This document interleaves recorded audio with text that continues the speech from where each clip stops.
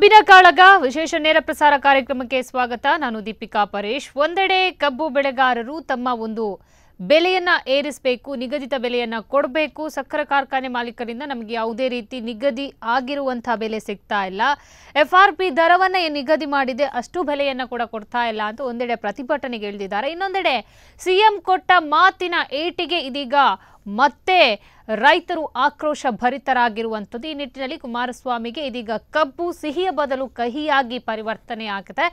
ಇನ್ನು ಈ ಒಂದು ರೈತರ ಗೊಂದಲಕ್ಕೆ ಯಾವಾಗ ಪರಿಹಾರ ಸಿಕ್ಕುತ್ತೆ? ನಿಜವಾಗ್ಲೂ ರೈತರು ಪ್ರತಿ ಸಲ ಈ ಹೋರಾಟಗಳನ್ನು ಮುಂದುವರಿಸಲೇ ಬ, ಮುಂದುವರಿಸ್ತಲೇ ಬರಬೇಕಾಗುತ್ತಾ ಅನ್ನೋ ಒಂದು ಪ್ರಶ್ನೆ ಕೂಡ ಇಲ್ಲಿ ಮೂಡುತ್ತೆ. ಇದೆಲ್ಲದರ ಬಗ್ಗೆ ಮಾತಾಡಲಿಕ್ಕೆ ಇವತ್ತು ಇಬ್ಬರು ಅತಿಥಿಗಳು ನಮ್ಮ ಸ್ಟುಡಿಯೋದಲ್ಲಿ ಜಾಯ್ನ್ ಆಗಲಿಕ್ಕಿದ್ದಾರೆ. ಮೊದಲಿಗೆ ಈಗಾಗಲೇ ಕಾಂಗ್ರೆಸ್ ವಕ್ತಾರರಾಗಿರುವಂತಹ ಕಿಶ್ ಕಿಶನ್ ಹೆಗ್ಡೆ ಅವರು ನಮ್ಮ ಜೊತೆಗಿದ್ದಾರೆ. ನಮಸ್ತೆ ಸರ್ ಕಾರ್ಯಕ್ರಮಕ್ಕೆ ಸ್ವಾಗತ. ನಮಸ್ತೆ. ಸರ್ ಇನ್ನೊಬ್ರು ಅತಿಥಿಗಳು ಇನ್ನು ಸ್ವಲ್ಪ ಸಮಯದಲ್ಲೇ ಬರ್ತಾರೆ. ಸರ್ ಈಗಾಗಲೇ ಕಬ್ಬಿನ ಬೆಲೆ ದರ ಕಬ್ಬಿನ ವಿಷಯಕ್ಕೆ ಸಂಬಂಧಪಟ್ಟಂತೆ ಒಂದೆಡೆ ಸಕ್ಕರೆ ಕಾರ್ಖಾನೆ ಮಾಲೀಕರು ಇನ್ನೊಂದೆಡೆ ಕಬ್ಬು ಬೆಳೆಗಾರರು ಇನ್ನೊಂದೆಡೆ ಸರ್ಕಾರ. ಈ ಮೂರು ಟ್ರಯಾಂಗಲ್ಗಳಲ್ಲಿ ಈಗ ಜಗಳ ಆಗ್ತಾ ಇದೆ. ಸೊ ಒಂದೆಡೆ ಕಬ್ಬು ಬೆಳೆಗಾರರಿಗೆ ನಿಜವಾಗಿ ಪರಿಹಾರ ಸಿಗ್ಬೇಕಾಗತ್ತೆ. ನಿಮ್ಮ ದೃಷ್ಟಿಯಲ್ಲಿ ಏನಾಗ್ತಾ ಇದೆ ಅನ್ನುವಂಥದ್ದು? ಖಂಡಿತ ಹಿತರಕ್ಷಣೆ ಏನಾದರೂ ಇದ್ದರೆ ಸರ್ಕಾರ ಕಾಯುವುದಿದ್ದರೆ ಅದು ಕಬ್ಬು ಬೆಳೆಗಾರರದ್ದೇ ಹೊತ್ತು ಮಾಲೀಕರದ್ದಲ್ಲ. ಕಾರ್ಖಾನೆ ಮಾಲೀಕರದ ಹಿತ ಕಾಯಲಿಕ್ಕೆ ಸರ್ಕಾರ ಇಲ್ಲ ಯಾವ ಸರ್ಕಾರವೂ ಇರುವುದಿಲ್ಲ ಅಂತ ನನ್ನ ಭಾವನೆ. ಈ ಸರ್ಕಾರ ಅಂತೂ ಅದರ ವಿಷಯದಲ್ಲಿ ಅಲ್ಲ. ರೈತರ ಹಿತ ಕಾಯುವ ಉದ್ದೇಶ ಭಾಳ ಸ್ಪಷ್ಟ. ಚಳುವಳಿಗಳು ದಾರಿ ತಪ್ಪಬಾರ್ದು ಹಾದಿ ತಪ್ಪಬಾರದು. ಆ ಆ ಉದ್ದೇಶವನ್ನು ಇಟ್ಟುಕೊಂಡು ರೈತ ಹೋರಾಟಕ್ಕೆ ಬೆಂಬಲ ನೀಡ್ತಕ್ಕಂಥದ್ದು ಎಲ್ಲರ, ಎಲ್ಲ ಪಕ್ಷ, ರಾಜಕೀಯ ಪಕ್ಷಗಳ ರಾಜಕೀಯ ಮರೆತು ಒಂದು ಕಬ್ಬಿನ ಬೆಲೆ ಕಬ್ಬು ಅಂತಲ್ಲ, ಯಾವುದೇ ರೈತನ ಬೆಲೆಯ ವಿಷಯ, ಬಹುಶಃ ಇವತ್ತು ಬಹುಶಃ ಇವತ್ತು ನಿನ್ನೆ ದಿನಗಳಲ್ಲಿ ನಾನು ಬಹುಶಃ ಅದು ಬದಿಗೆ ಹೋಯ್ತೇನೋ ಈರುಳ್ಳಿ, ನೀರುಳ್ಳಿ, ಈ, ಐ ಮೀನ್, ಟೊಮೆಟೊ, ಈರುಳ್ಳಿ ಬೆಲೆಗಳು, ಬಹುಶಃ ಪಾತಾಳಕ್ಕೆ ಕುಡಿದು ಕೆಲವು ಕಡೆಯಲ್ಲಿ ಗಲಾಟೆಗಳು ನಡೀತಾ ಇದೆ. ಬೆಲ್ಲ ಇವತ್ತು, ಎಲ್ಲವೂ ರೈತ ಏನು ಉತ್ಪಾದನೆ ಮಾಡ್ತಾನೆ, ಅದಕ್ಕೆ ಇವತ್ತು ಬೆಲೆ ಇಲ್ಲ. ಬಹುಶಃ ಭತ್ತವನ್ನು ತೆಗೆದುಕೊಂಡ್ರೆ ನಾವು ಈ ಪ್ರದೇಶವನ್ನು ನಾವು ಕೇಂದ್ರೀಕರಿಸಿಕೊಂಡು ಮಾತಾಡೋದಾದರೆ ಭತ್ತ. ಭತ್ತದ ಬೆಲೆ. ಭತ್ತದ ಬೆಂಬಲ ಬೆಲೆ ಏನು ಇವತ್ತಿದೆ? ಭತ್ತದ ಬೆಂಬಲ ಬೆಲೆಗೆ ನಾವು ಹೋಲಿಕೆ ಮಾಡ್ಕೊಂಡು ನೋಡಿದಾಗ ರೈತ ಆ ಬೆಲೆಯಲ್ಲಿ ರೈತ ಕೊಟ್ಟಾಗ ಸಾಧ್ಯ ಇಲ್ಲ. ಬಹುಶಃ ಎಲ್ಲ ಹೆಚ್ಚಿನ ದೊಡ್ಡ ರೈತರುಗಳು ಅದನ್ನು ಸ್ಟಾಕ್ ಮಾಡಿರ್ತಾರೆ. ಇಲ್ಲದಿದ್ದರೆ ಸಾಧ್ಯ ಇಲ್ಲ. ರುಮ- ಎರಡು ಸಾವಿರ ರೂಪಾಯಿಗಿಂತ ಹೆಚ್ಚು ಬೆಲೆ ಸಿಗದೇ ಇದ್ದರೆ ಭತ್ತ ಪೂರೈಸಿಕೊಳ್ಳಿಕ್ಕೆ ಸಾಧ್ಯ. ಹಾಗೆ ಕಬ್ಬು ಸಹಿತ. ಕಬ್ಬಿನ ಬಗ್ಗೆ ನಾವು ಕಬ್ಬಿನ ಬೆಲೆ ನೀಡಬೇಕು ಅಂತಕ್ಕಂಥ ವಾದವನ್ನು ನೀಡಬಹುದೇ ಹೊರತು ಈ ಪ್ರದೇಶದಲ್ಲಿ, ನಮ್ಮ ಈ ಪ್ರದೇಶದಲ್ಲಿ ನಾವು ಕಬ್ಬಿನ ಬೆಳೆಯಿಂದ ವಿಮುಖರಾಗಿದ್ದೇವೆ. ನಮಗೆ ಅದರ ಕಷ್ಟ ಮತ್ತು ನಷ್ಟಗಳ ಅರಿವು ನಮಗಿಲ್ಲ. ಅದು ದುರಂತ ಸಹಿತ ಹೌದು. ಇದ್ದ ಒಂದು ನಮ್ಮಲ್ಲಿ ಇದ್ದ ಸಕ್ಕರೆ ಕಾರ್ಖಾನೆ ಕಹಿಯಾಗಿ ಹೋಯಿತು. ಸಕ್ಕರೆ ಎಲ್ಲ ಕಡೆ ಸಿಹಿ ಆದರೆ ದಕ್ಷಿಣ ಕನ್ನಡ, ಉಡುಪಿ ಜಿಲ್ಲೆಯಲ್ಲಿ ಕಾರ್ಖಾನೆ ಕಹಿ ಆಯಿತು ಅದು ಒಂದು ದುರಂತ. ಬಹುಶಃ ಇಲ್ಲದಿದ್ರೆ ಬಹುಶಃ ಈ ಹೋರಾಟದಲ್ಲಿ ನಮ್ಮ ಈ ಪ್ರದೇಶ ಕೂಡ ಭಾಗಿಯಾಗ್ತಿತ್ತು. ಭಾಗಿಯಾಗ್ತಕ್ಕಂಥ ಅವಕಾಶಗಳಿತ್ತು. ಆದರೆ ಇವತ್ತು ಆ ಪರಿಸ್ಥಿತಿ ಇಲ್ಲ, ಇಲ್ಲಿ ಕಾರ್ಖಾನೆ ಮುಚ್ಚಿ ಹೋಗಿದೆ. ನಮಗೆ ಆ ಕಬ್ಬಿನ ಬೆಳೆಗಳ ಬಗ್ಗೆ ನಿಖರವಾದ ಅಂಕಿಅಂಶಗಳನ್ನ ಹೇಳುವಷ್ಟು ನಮ್ಮ ರೈತರು ಅಥವಾ ನಾವೆಲ್ಲರೂ ಅದರ ಬಗ್ಗೆ ಅಲ್ಲ ಅಂತ ಹೇಳ್ಬೋದು. ಆದರೆ ಏನೇ ಇದ್ದರೂ ಒಂದು ಸಾಮೂಹಿಕವಾಗಿ ಒಂದು ವ್ಯವಸ್ಥೆಯನ್ನು ಪರಿಶೀಲನೆ ಮಾಡಿದಾಗ ಕಬ್ಬು ಅಥವಾ ಯಾವುದೇ ಬೆಳೆ, ರೈತ ಬೆಳೆದ ಬೆಲೆಗೆ ನಾವು ವ್ಯಾಪಾರಸ್ಥರ ಮುಂದೆ, ನಾವು ಏನು ಏಜೆಂಟ್ರುಗಳ ಮುಂದೆ, ಮಧ್ಯವರ್ತಿಗಳ ಮುಂದೆ ಅಂಗಲಾಗ್ತಕ್ಕಂಥ ಪರಿಸ್ಥಿತಿ ಇವತ್ತು ಈ ದೇಶದಲ್ಲಿದೆ. ಅದಾಗಬಾರ್ದು ನಮ್ಮ ಬೆಲೆಯನ್ನು ನಾವು ನಿಗದಿ ಮಾಡ್ತಕ್ಕಂಥ ವ್ಯವಸ್ಥೆ ಬರಬೇಕು. ಅದು ಕಬ್ಬಿಗೂ ಹೌದು, ಭತ್ತಕ್ಕೂ ಹೌದು, ಎಲ್ಲದಕ್ಕೂ. ನಾವು ಬೆಲೆ, ಇವತ್ತು ಎಂ ಆರ್ ಪಿ ಅಂತ ಹಾಕ್ಕೊಂಡು ಇವತ್ತು ಅಂಗಡಿಗಳಲ್ಲಿ ಮಾರ್ತಾರೆ ಅಂತ ಹಿಡಿದು ಎಲ್ಲದಕ್ಕೂ. ರೈತನಿಗೆ ಎಂ ಆರ್ ಪಿ ಇಲ್ಲ. ಯಾವ ಎಂ ಆರ್ ಪಿ ರೈತ ಬೆಲೆ ನಿಗದಿ ಮಾಡಲಿಕ್ಕೆ ಆಗೋದಿಲ್ಲ. ಒಂದು ಸೂಜಿ ಕಡ್ಡಿಯನ್ನು, ಒಂದು ಸೂಜಿ ಮನೆಯನ್ನು ಕಾ ತಯಾರಿಸಿದ ಕಾರ್ಖಾನೆ ಮಾಲೀಕ ಇರ್ಬೋದು, ಅಥವಾ ಒಂದು ಟೈಲರಿಂಗ್ ಶಾಪಿನವನು ಹಿಡಿದವನು, ಅವನು ಅವನ ಬೆಲೆಯನ್ನು ನಿಗದಿಗೊಳಿಸ್ತಾನೆ. ಆದರೆ ರೈತ ಬೆಳೆದ ಬೆಲೆಗೆ ನಿಗದಿಗೊಳಿಸ್ತಕ್ಕಂಥ ವ್ಯವಸ್ಥೆ ಇರ್ತಕ್ಕಂಥ ಮಧ್ಯವರ್ತಿಗಳು. ಸರ್ ನೀವು ಈ ಮಾತಾಡುವ ಸಂದರ್ಭದಲ್ಲಿ ಹೇಳಿದ್ರಿ ಈ ಚಳುವಳಿ ನಡೆಯುವಂಥದ್ದು ಒಳ್ಳೆ ವಿಚಾರ. ಖಂಡಿತ. ಆದ್ರೆ ಅದು ದಾರಿ ತಪ್ತಾ ಇದೆ ಅಂತ. ಹಾಗಿದ್ರೆ ಯಾವ ತರ ದಾರಿ ನಾನು ಹೇಳಿ? ಹೇಳ್ತೇನೆ ದಾರಿ ಚಳವಳಿಗಳು ದಾರಿ ತಪ್ಪು ಚಳವಳಿ ರೈತ ಚಳವಳಿಗಳ ಬಗ್ಗೆ ರೈತ ಚಳವಳಿಯನ್ನ ರೈತ ರೈತನಷ್ಟಕ್ಕೆ ಚಳವಳಿ ಮಾಡ್ತಾನೆ. ಅದು ಸರ್ಕಾರ ಅದಕ್ಕೇನೋ ಒಂದು ಆಶ್ವಾಸನೆ ಮತ್ತು ಕಾರ್ಯರೂಪಕ್ಕೆ ತರ್ತಕ್ಕಂಥ ಬರೀ ಆಶ್ವಾಸನೆ ಅಲ್ಲ ಕಾರ್ಯರೂಪಕ್ಕೆ ತರ್ತಕ್ಕಂಥ ಕೆಲಸಗಳು. ಇರೆಸ್ಪೆಕ್ಟ್ ಆಫ್ ಪಾರ್ಟಿ ಗೌರ್ಮೆಂಟ್ ನಾನು ಹೇಳ್ತಾ ಇದ್ದೀನಿ. ಎಲ್ಲ ಸರ್ಕಾರಗಳು ತರ್ತಕ್ಕಂಥ ಕೆಲಸಗಳಾಗ್ತದೆ.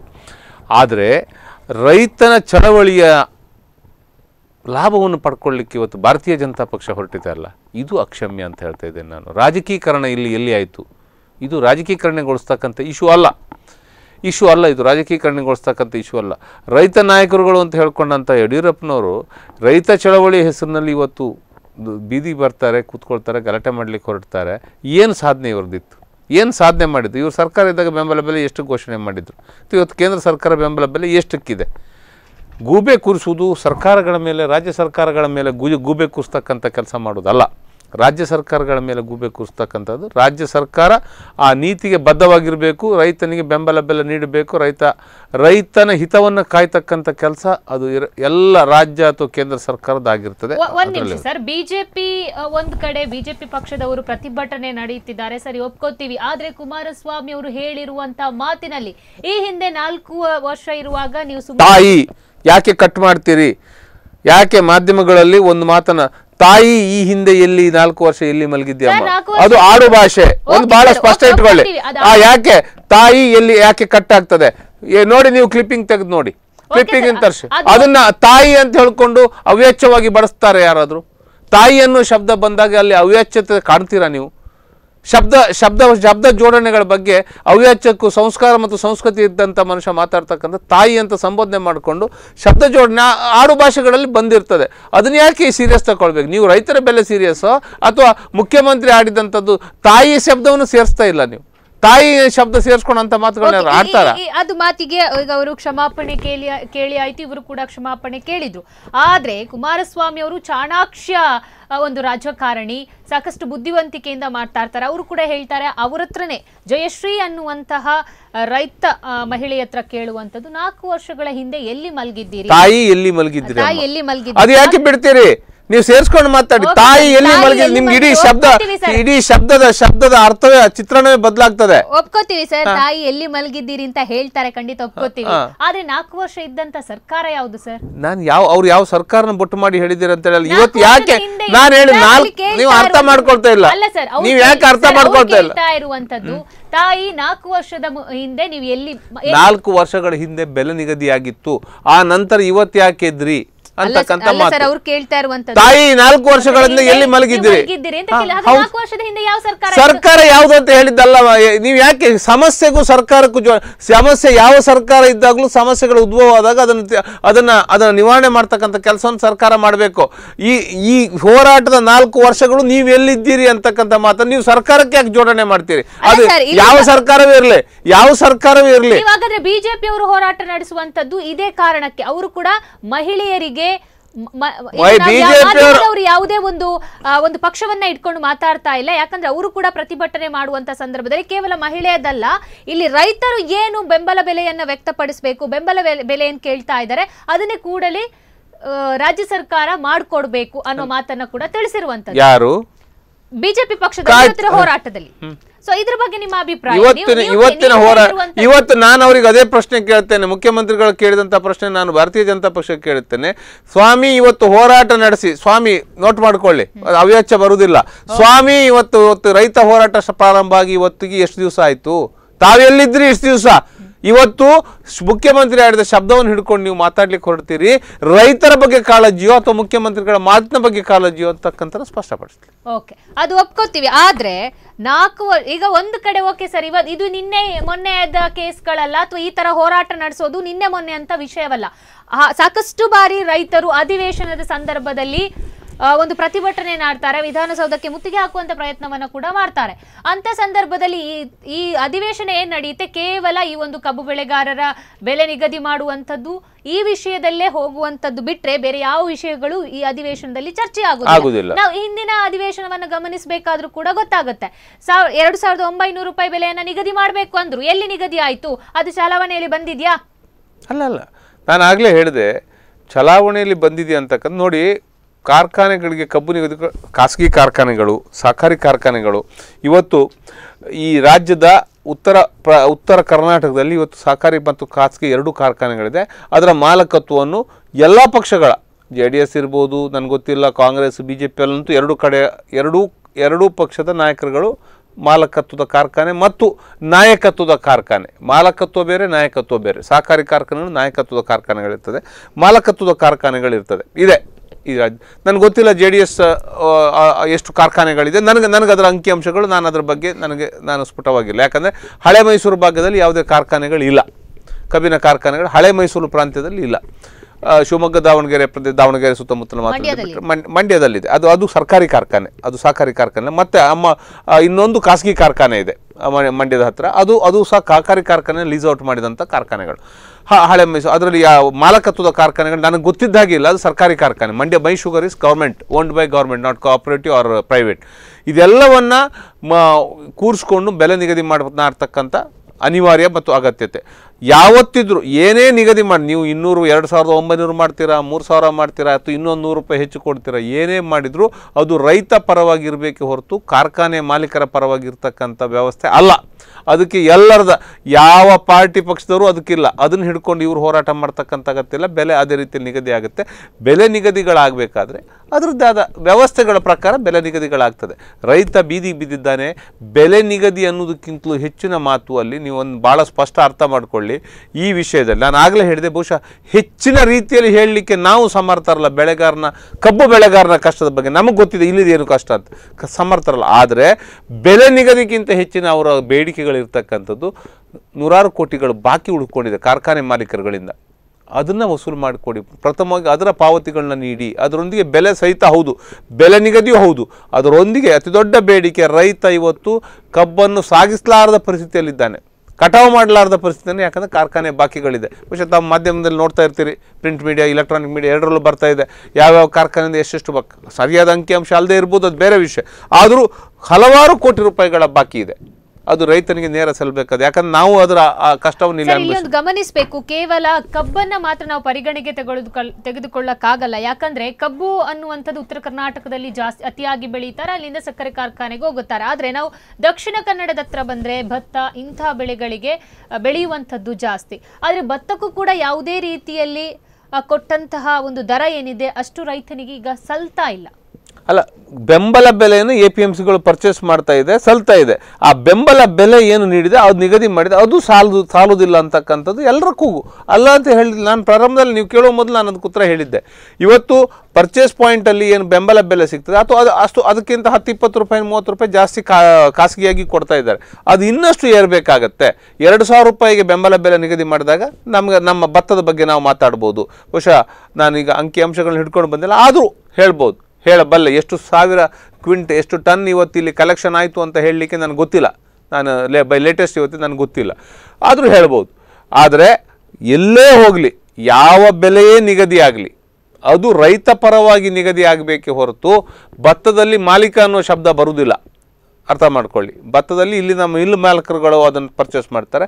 ಆದರೆ ಭತ್ತದ ಮಾರುಕಟ್ಟೆ ಯಾವುದೋ ಒಂದು ಹತ್ತು ಜನರ ಮಾ ಕೈಯಲ್ಲಿ ಇರ್ತಕ್ಕಂಥದ್ದಲ್ಲ ಸಹಸ್ರಾರು ವ್ಯಾಪಾರ ಮತ್ತು ವ್ಯವಹಾರದಲ್ಲಿ ಇರ್ತದೆ ಆದರೆ ಕಬ್ಬಿನ ಮಾರುಕಟ್ಟೆ ಹತ್ತು ಕಬ್ಬಿನ ಇದು ಹತ್ತಾರು ಜನರ ಕೈಯಲ್ಲಿ ಮಾತ್ರ ಇರ್ತಕ್ಕಂಥದ್ದು ಅಂತಕ್ಕಂಥ ಮಾತು ಗಮನಿಸಬೇಕಾಗುತ್ತೆ.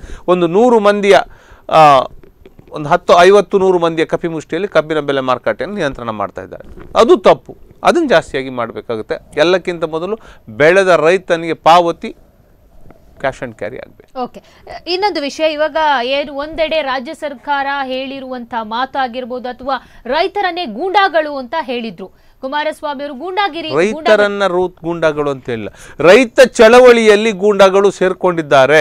ಇಲ್ದಿದ್ರೆ ಗೇಟ್ ಹೊಡಿತಕ್ಕಂಥ ಕೆಲಸ ಮಾಡ್ತಿದ್ರೆ ಅಂತ ಮಾತನ್ನು ಹೇಳಿದರು. ಇವತ್ತು ವಿಧಾನಸೌಧದ ಗೇಟನ್ನು ಹೊಡಿತಕ್ಕಂಥ ಕೆಲಸವನ್ನ ಪೊಲೀಸರ ಮೇಲೆ ದಾಳಿ ಮಾಡ್ತಕ್ಕಂಥ ಕೆಲಸವನ್ನ ರೈತ ಮಾಡೋದಿಲ್ಲ ನಾನು ಹೇಳ್ತೀನಿ ಕೇಳಿ ನೀವು ಯಾಕೆ ಯಾಕೆ ದಾಳಿ ಮಾಡ್ತಾರೆ ಅದು ರೈತ ಮಾಡಿದ್ದ? ಇಷ್ಟು ಬೆಂಬಲ ಕೊಟ್ಟಿಲ್ಲ ಬೆಲೆ ಕೊಟ್ಟಿಲ್ಲ? ಅಲ್ಲ ಬೇಡಿಕೆಗಳು ನೋಡಿ ಇವತ್ತು ಎಲ್ಲ ಕಡೆಯಲ್ಲಿ ಕಡೆ ನೋಡಿದ್ರೆ ನೀವು? ಎಲ್ಲ ಕಡೆ ನೋಡಿದ್ರಿ ಹರ್ತಾಳಗಳು ನಡೀತಕ್ಕಂಥ ಸಂದರ್ಭದಲ್ಲಿ ಹಿಂಸಾಚಾರಗಳು ನಡೀತದೆ. ಹಿಂಸಾಚಾರಗಳನ್ನು ಹರ್ತಾಳಗಳಿಗೆ ಕರೆ ಕೊಟ್ಟವರು ಮಾಡ್ತಾರೆ ಅಂತಕ್ಕಂಥದ್ದನ್ನು ಭಾವನೆ ಇದ್ರೆ ಬಿಟ್ಬಿಡಿ. ಹರ್ತಾಳಗಳು ಕರೆ ಕೊಟ್ಟವರಿಗೆ ಯಾರು ಬಂದ್ ಕಾಲು ಅಥವಾ ಸ್ಟ್ರೈಕ್ ಏನೇ ಯಾವುದೇ ಒಂದು ಕಾಲ್ಗಳಿರಲಿ ಅದನ್ನು ಕೊಟ್ಟವರು ಭಾಳ ಜವಾಬ್ದಾರಿಯುತವಾಗಿ ಆ ಕರೆಗಳನ್ನ ಕೊಡ್ತಾರೆ. ಆದರೆ ಅದು ಯಾವುದೇ ಸಂದರ್ಭಗಳಲ್ಲಿ ಅದನ್ನು ಕೆಡಿಸ್ತಕ್ಕಂಥ ಒಂದು ಒಂದು ರೈತ ಚಳವಳಿ ಇರ್ಬೋದು ಅಥವಾ ಯಾವುದೇ ಒಂದು ಚಳವಳಿಗಳಿರ್ಬೋದು ಅದನ್ನು ಒಂದು ಮಾಸ್ ಅದು ಒಂದು ತಿರುವನ್ನು ಪಡ್ಕೊಂಡಾಗ ಅದರ ಮಧ್ಯೆ ಕೆಲವು ಸಮಾಜಘಾತಕ ಶಕ್ತಿಗಳು ಸೇರಿಕೊಂಡು ಏನೋ ಒಂದು ಕೆಲಸವನ್ನು ಮಾಡ್ತಾರೆ ಸಮಾಜಘಾತಕ ಶಕ್ತಿಗಳಂದ್ರೆ ಏನು ಅಲ್ಲ ನಮ್ಮ ಪ್ರಕಾರ ಸಮಾಜಘಾತಕ ಶಕ್ತಿಗಳನ್ನು ತಡಿಬೇಕಾದ್ದು ಸರ್ಕಾರದ ಕೆಲಸ. ಸಮಾಜಘಾತಕ ಶಕ್ತಿಗಳು ಅಂತ ಪ್ರದೇಶದಲ್ಲಿ ಹೋದಾಗ ತಡಿಬೇಕಾದ್ದು ಸರ್ಕಾರದ ಕೆಲಸ. ಇಲ್ಲಿ ನೋಡಿ ಭಾಳ ಸೆನ್ಸಿಟಿವ್ ಇಶ್ಯೂ ಇರ್ತದೆ. ಮಹಿಳೆಯವರು ಸ್ಟ್ರೈಕ್ ಕೂತಾಗ ರೈತ ಸ್ಟ್ರೈಕ್ ಕೂತಾಗ ಇಂಥ ಕಾರ್ಮಿಕರು ಕುಳಿತಾಗ ಕೆಲವು ಸೆನ್ಸಿಟಿವ್ ಪೊಲಿಟಿಕಲ್ ಸ್ಟ್ರೈಕ್ಗಳು ಬೇರೆ. ಅದನ್ನು ದಮನ ಮಾಡಲಿಕ್ಕೆ ಸರ್ಕಾರ ಸಾಮರ್ಥ್ಯ ಇರ್ತದೆ.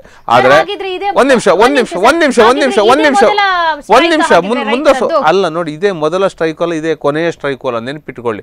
ಸರ್ಕಾರಗಳು ಬರ್ತದೆ ಹೋಗ್ತದೆ. ಆದರೆ ರೈತನ ಬೇಡಿಕೆಗಳು ಬರ್ತದೆ ಹೋಗ್ತದೆ ಅಂತಕ್ಕಂಥಲ್ಲ. ಇದು ಇದು ಮೊದಲದ್ದು ಅಂತ ಹೇಳಬೇಡಿ, ಇದು ಕೊನೆಯದ್ದು ಅಂತ ಹೇಳಬೇಡಿ. ನಿರಂತರವಾಗಿ ರೈತ ಹೋರಾಟದಲ್ಲಿದ್ದಾಗ ಮಾತ್ರ ಆತನ ಬೇಡಿಕೆಗಳಿರ್ತದೆ ಇವತ್ತು ನಾವು ಬೇರೆ ರಾಷ್ಟ್ರಗಳಿಗೆ ಸರಿಸಮಾನವಾಗಿ ರೈತ ನಿಲ್ಲಿಕ್ಕೆ ಸಾಧ್ಯ ಆಗ್ತದೆ. ಅದರ ಅದನ್ನು ನೆನಪಲ್ಲಿಟ್ಕೊಂಡು ನಾವು ಮಾತಾಡಬೇಕಾಗತ್ತೆ ಹೊರತು ರೈತನನ್ನು ರೈತನೊಂದಿಗೆ ಸೇರ್ತಕ್ಕಂಥ ಕೆಲವು ಸಮಾಜಘಾತುಕ ಶಕ್ತಿಗಳ ಬಗ್ಗೆ ಜಾಗೃತರಾಗಬೇಕಾಗತ್ತೆ.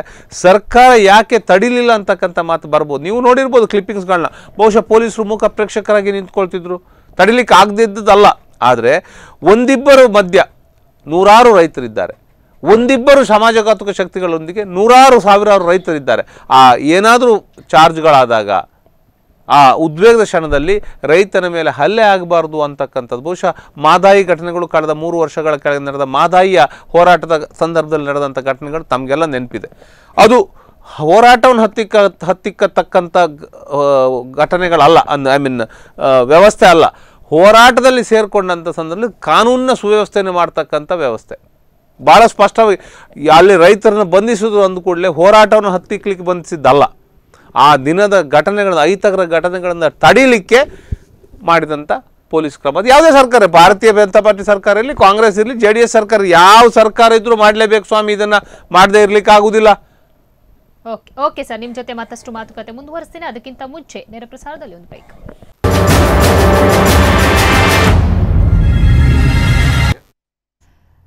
ಕಬ್ಬಿನ ಕಾಳಗ ನೇರ ಪ್ರಸಾರ ಕಾರ್ಯಕ್ರಮಕ್ಕೆ ಮತ್ತೊಮ್ಮೆ ಸ್ವಾಗತ. ಈಗ ಬಿಜೆಪಿ ವಕ್ತಾರರಾಗಿರುವಂತ ಎ ಶಿವಾನಂದ ಅಂಬಲ್ಪಾಡಿ ಅವರು ನಮ್ಮ ಜೊತೆ ಜಾಯ್ನ್ ಆಗಿದ್ದಾರೆ. ನಮಸ್ತೆ ಸರ್. ಶಿವಕುಮಾರ್ ಅಂಬಲ್ಪಾಡಿ. ಅವರು ನಮ್ಮ ಜೊತೆ ಜಾಯ್ನ್ ಆಗಿದ್ದಾರೆ. ನಮಸ್ತೆ ಸರ್. ಕಾರ್ಯಕ್ರಮಕ್ಕೆ ಸ್ವಾಗತ. ಸರ್ ಈಗಾಗಲೇ ನಿಮಗೆ ಗೊತ್ತಿರಬಹುದು ಕಬ್ಬಿನ ಒಂದು ಬೆಳೆಯನ್ನ ನಿಗದಿಪಡಿಸಬೇಕು. ಅವರಿಗೆ ಒಂದು ನಿಗದಿಯಾದ ದರವನ್ನ ಕೊಡಬೇಕು ಅನ್ನುವಂಥದ್ದು ಈಗ ನಡೀತಾ ಇರುವಂತ ಪ್ರೆಸೆಂಟ್ ಇದು. ಸೊ ಆದ್ರೆ ರಾಜ್ಯ ಸರ್ಕಾರದ ಒಂದು ಮಾತು ಇನ್ನೊಂದೆಡೆ ಬಿಜೆಪಿಯ ಹೋರಾಟ. ಸೊ ನಿಮ್ಮ ಪ್ರಕಾರ ಇದು ರೈತನಿಗೆ ಯಾವ ತರ ಎಫೆಕ್ಟ್ ಬೀಳುತ್ತೆ? ಈಗ ರಾಜಕೀಯ ದೊಂಬರಾಟದಲ್ಲಿ ಬಲಿಯಾಗ್ತಾ ಇರುವಂತದ್ದು ರೈತರು. ನಿಮ್ಮ ಅಭಿಪ್ರಾಯ ಏನು? ಸರಿ, ಈಗ ರೈತರು ಕೇಳುವಂಥದ್ರಲ್ಲಿ ಅಂಥದ್ದು ತಪ್ಪಿಲ್ಲ. ಸ್ವಾಭಾವಿಕವಾಗಿ ಹೋರಾಟ ಮಾಡುವಂಥದ್ದು. ಇವತ್ತು ಕಬ್ಬಿನ ಬೆಲೆಯನ್ನು ಕಳೆದ ಬಾರಿ ಎರಡೂವರೆ ಸಾವಿರ ಕ್ವಿಂಟಲ್ಗೆ ಇತ್ತು. ಮೂರು ಸಾವಿರ ಬೇಕು ಅನ್ನುವಂಥ ಒಂದು ಬೇಡಿಕೆಯನ್ನು ಇವತ್ತು ಕಬ್ಬಿನ ಬೆಳೆಯುವ ರೈತರು ಮುಂದಿಟ್ಟಿದ್ದಾರೆ. ಆದರೆ ನಮ್ಮ ರಾಜ್ಯದಲ್ಲಿ ಮಣ್ಣಿನ ಮಕ್ಕಳು ಅಂತ ಹೇಳ್ಕೊಂಡು ಬಂದಿರುವಂಥ ನಮ್ಮ ಜವಾಬ್ದಾರಿಯುತ ಸ್ಥಾನದಲ್ಲಿರುವಂಥ ಮುಖ್ಯಮಂತ್ರಿಗಳು, ಕುಮಾರಸ್ವಾಮಿ ಅವರು. ಒಂದು ಮಹಿಳೆಗೆ ಅವರು ಒಂದು ರೈತ ಕುಟುಂಬದಿಂದ ಬಂದಂಥ ಮಹಿಳೆ ಅಂತ ಹೇಳುವಂಥದ್ದು ಗುರುತಿಸುವಲ್ಲಿ ವಿಫಲರಾಗಿದ್ದಾರೆ. ಅದರ ಜೊತೆಗೆ ಒಂದು ಏನಂತೇಳಿ ಉಡಾಪೆಯ ಮಾತಂತ ಹೇಳ್ಬೋದು. ಯಾಕಂತ ಹೇಳಿದರೆ ಅದು ಒಂದು ರೀತಿಯಲ್ಲಿ ಮಹಿಳೆಗೆ ಅಗೌರವ ಆಗುವ ರೀತಿಯಲ್ಲಿ ಮಾತಾಡಿದ್ದಾರೆ ಅನ್ನುವಂಥದ್ದು ಜಗಜ್ಜಾಗಿರಾಗಿದೆ. ಇವತ್ತು ಭಾಳಷ್ಟು ಹೋರಾಟಗಳು ಆಗ್ತಾಯಿದೆ ನಾವು ನೋಡ್ತಾ ಇದ್ದೇವೆ. ದೃಶ್ಯ ಮಾಧ್ಯಮದಲ್ಲಿ ನೋಡ್ತಾ ಇದ್ದೇವೆ. ಪ್ರಿಂಟ್ ಮೀಡಿಯಾದಲ್ಲಿ ನೋಡ್ತಾ ಇದ್ದೇವೆ.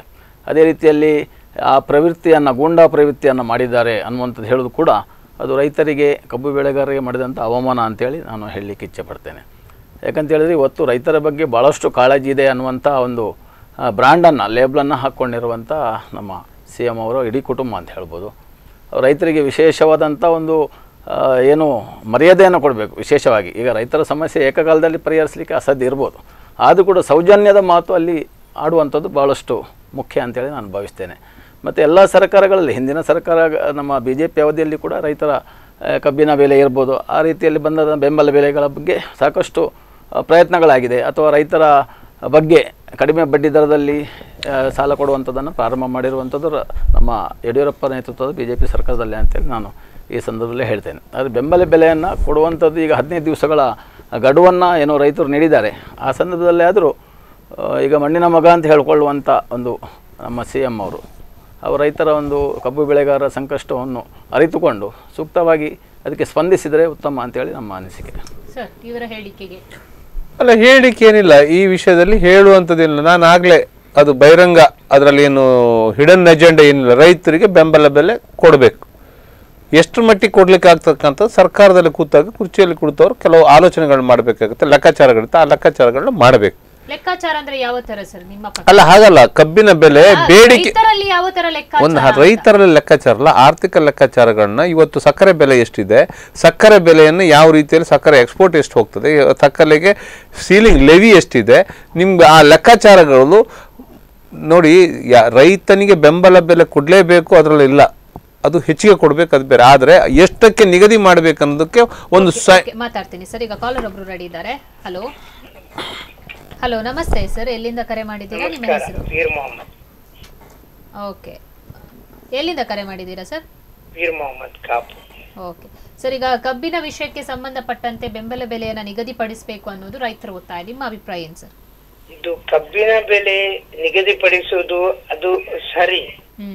ಆದರೆ ಈ ಒಂದು ದಾಳವನ್ನು ರಾಜಕೀಯವಾಗಿ ನೇತಾಡುವುದು ಮಾತ್ರ ತಪ್ಪು. ಸೊ ನಿಮ್ಮ ಪ್ರಕಾರ ಯಾವ ರೀತಿ ರಾಜಕೀಯವಾಗಿ ಇದನ್ನ ತಗೊಂಡು ಹೋಗ್ತಾ ಇದ್ದಾರೆ ಅನ್ನುವಂಥದ್ದು ಸರ್ ಹೌದು. ನೋಡಿ ಯಡಿಯೂರಪ್ಪರವರು ಇರುವಾಗಲೂ ಇದೇ ರೀತಿ ಗಲಾಟೆ ಆಗಿ ಒಬ್ಬ ರೈತನನ್ನೇ ಗುಳುಮ್ ಮಾಡಿದ್ದಾರೆ. ಹೇಳಿ ಹೇಳಿ ಸರ್ ಹೇಳಿ. ಹಾಗಿರುವಾಗ ಈಗ ನೋಡಿ ಅವರ ಮಾತು ಒಂದು ವೇಳೆ ಬಾಯ್ ತಪ್ಪಿಂದ ಬಂದ್ರು ಅವರ ಕ್ಷಮೆಯನ್ನು ಕೇಳಿರ್ಬೋದು. ಏನ್ ಹೇಳಿದ್ರು ಅದನ್ನು ಮೀಡಿಯಾ ಮತ್ತೆ ವಿರೋಧ ಪಕ್ಷದವರು ನೂರು ಬಾರಿ ಹೇಳಿ ಹೇಳಿ ಅವರಿಗಿಂತ ಅವಮಾನ ಮಾಡುವವರು ಇವರು. ಅವರು ಒಮ್ಮೆ ಹೇಳ್ತಿದ್ದಾರೆ.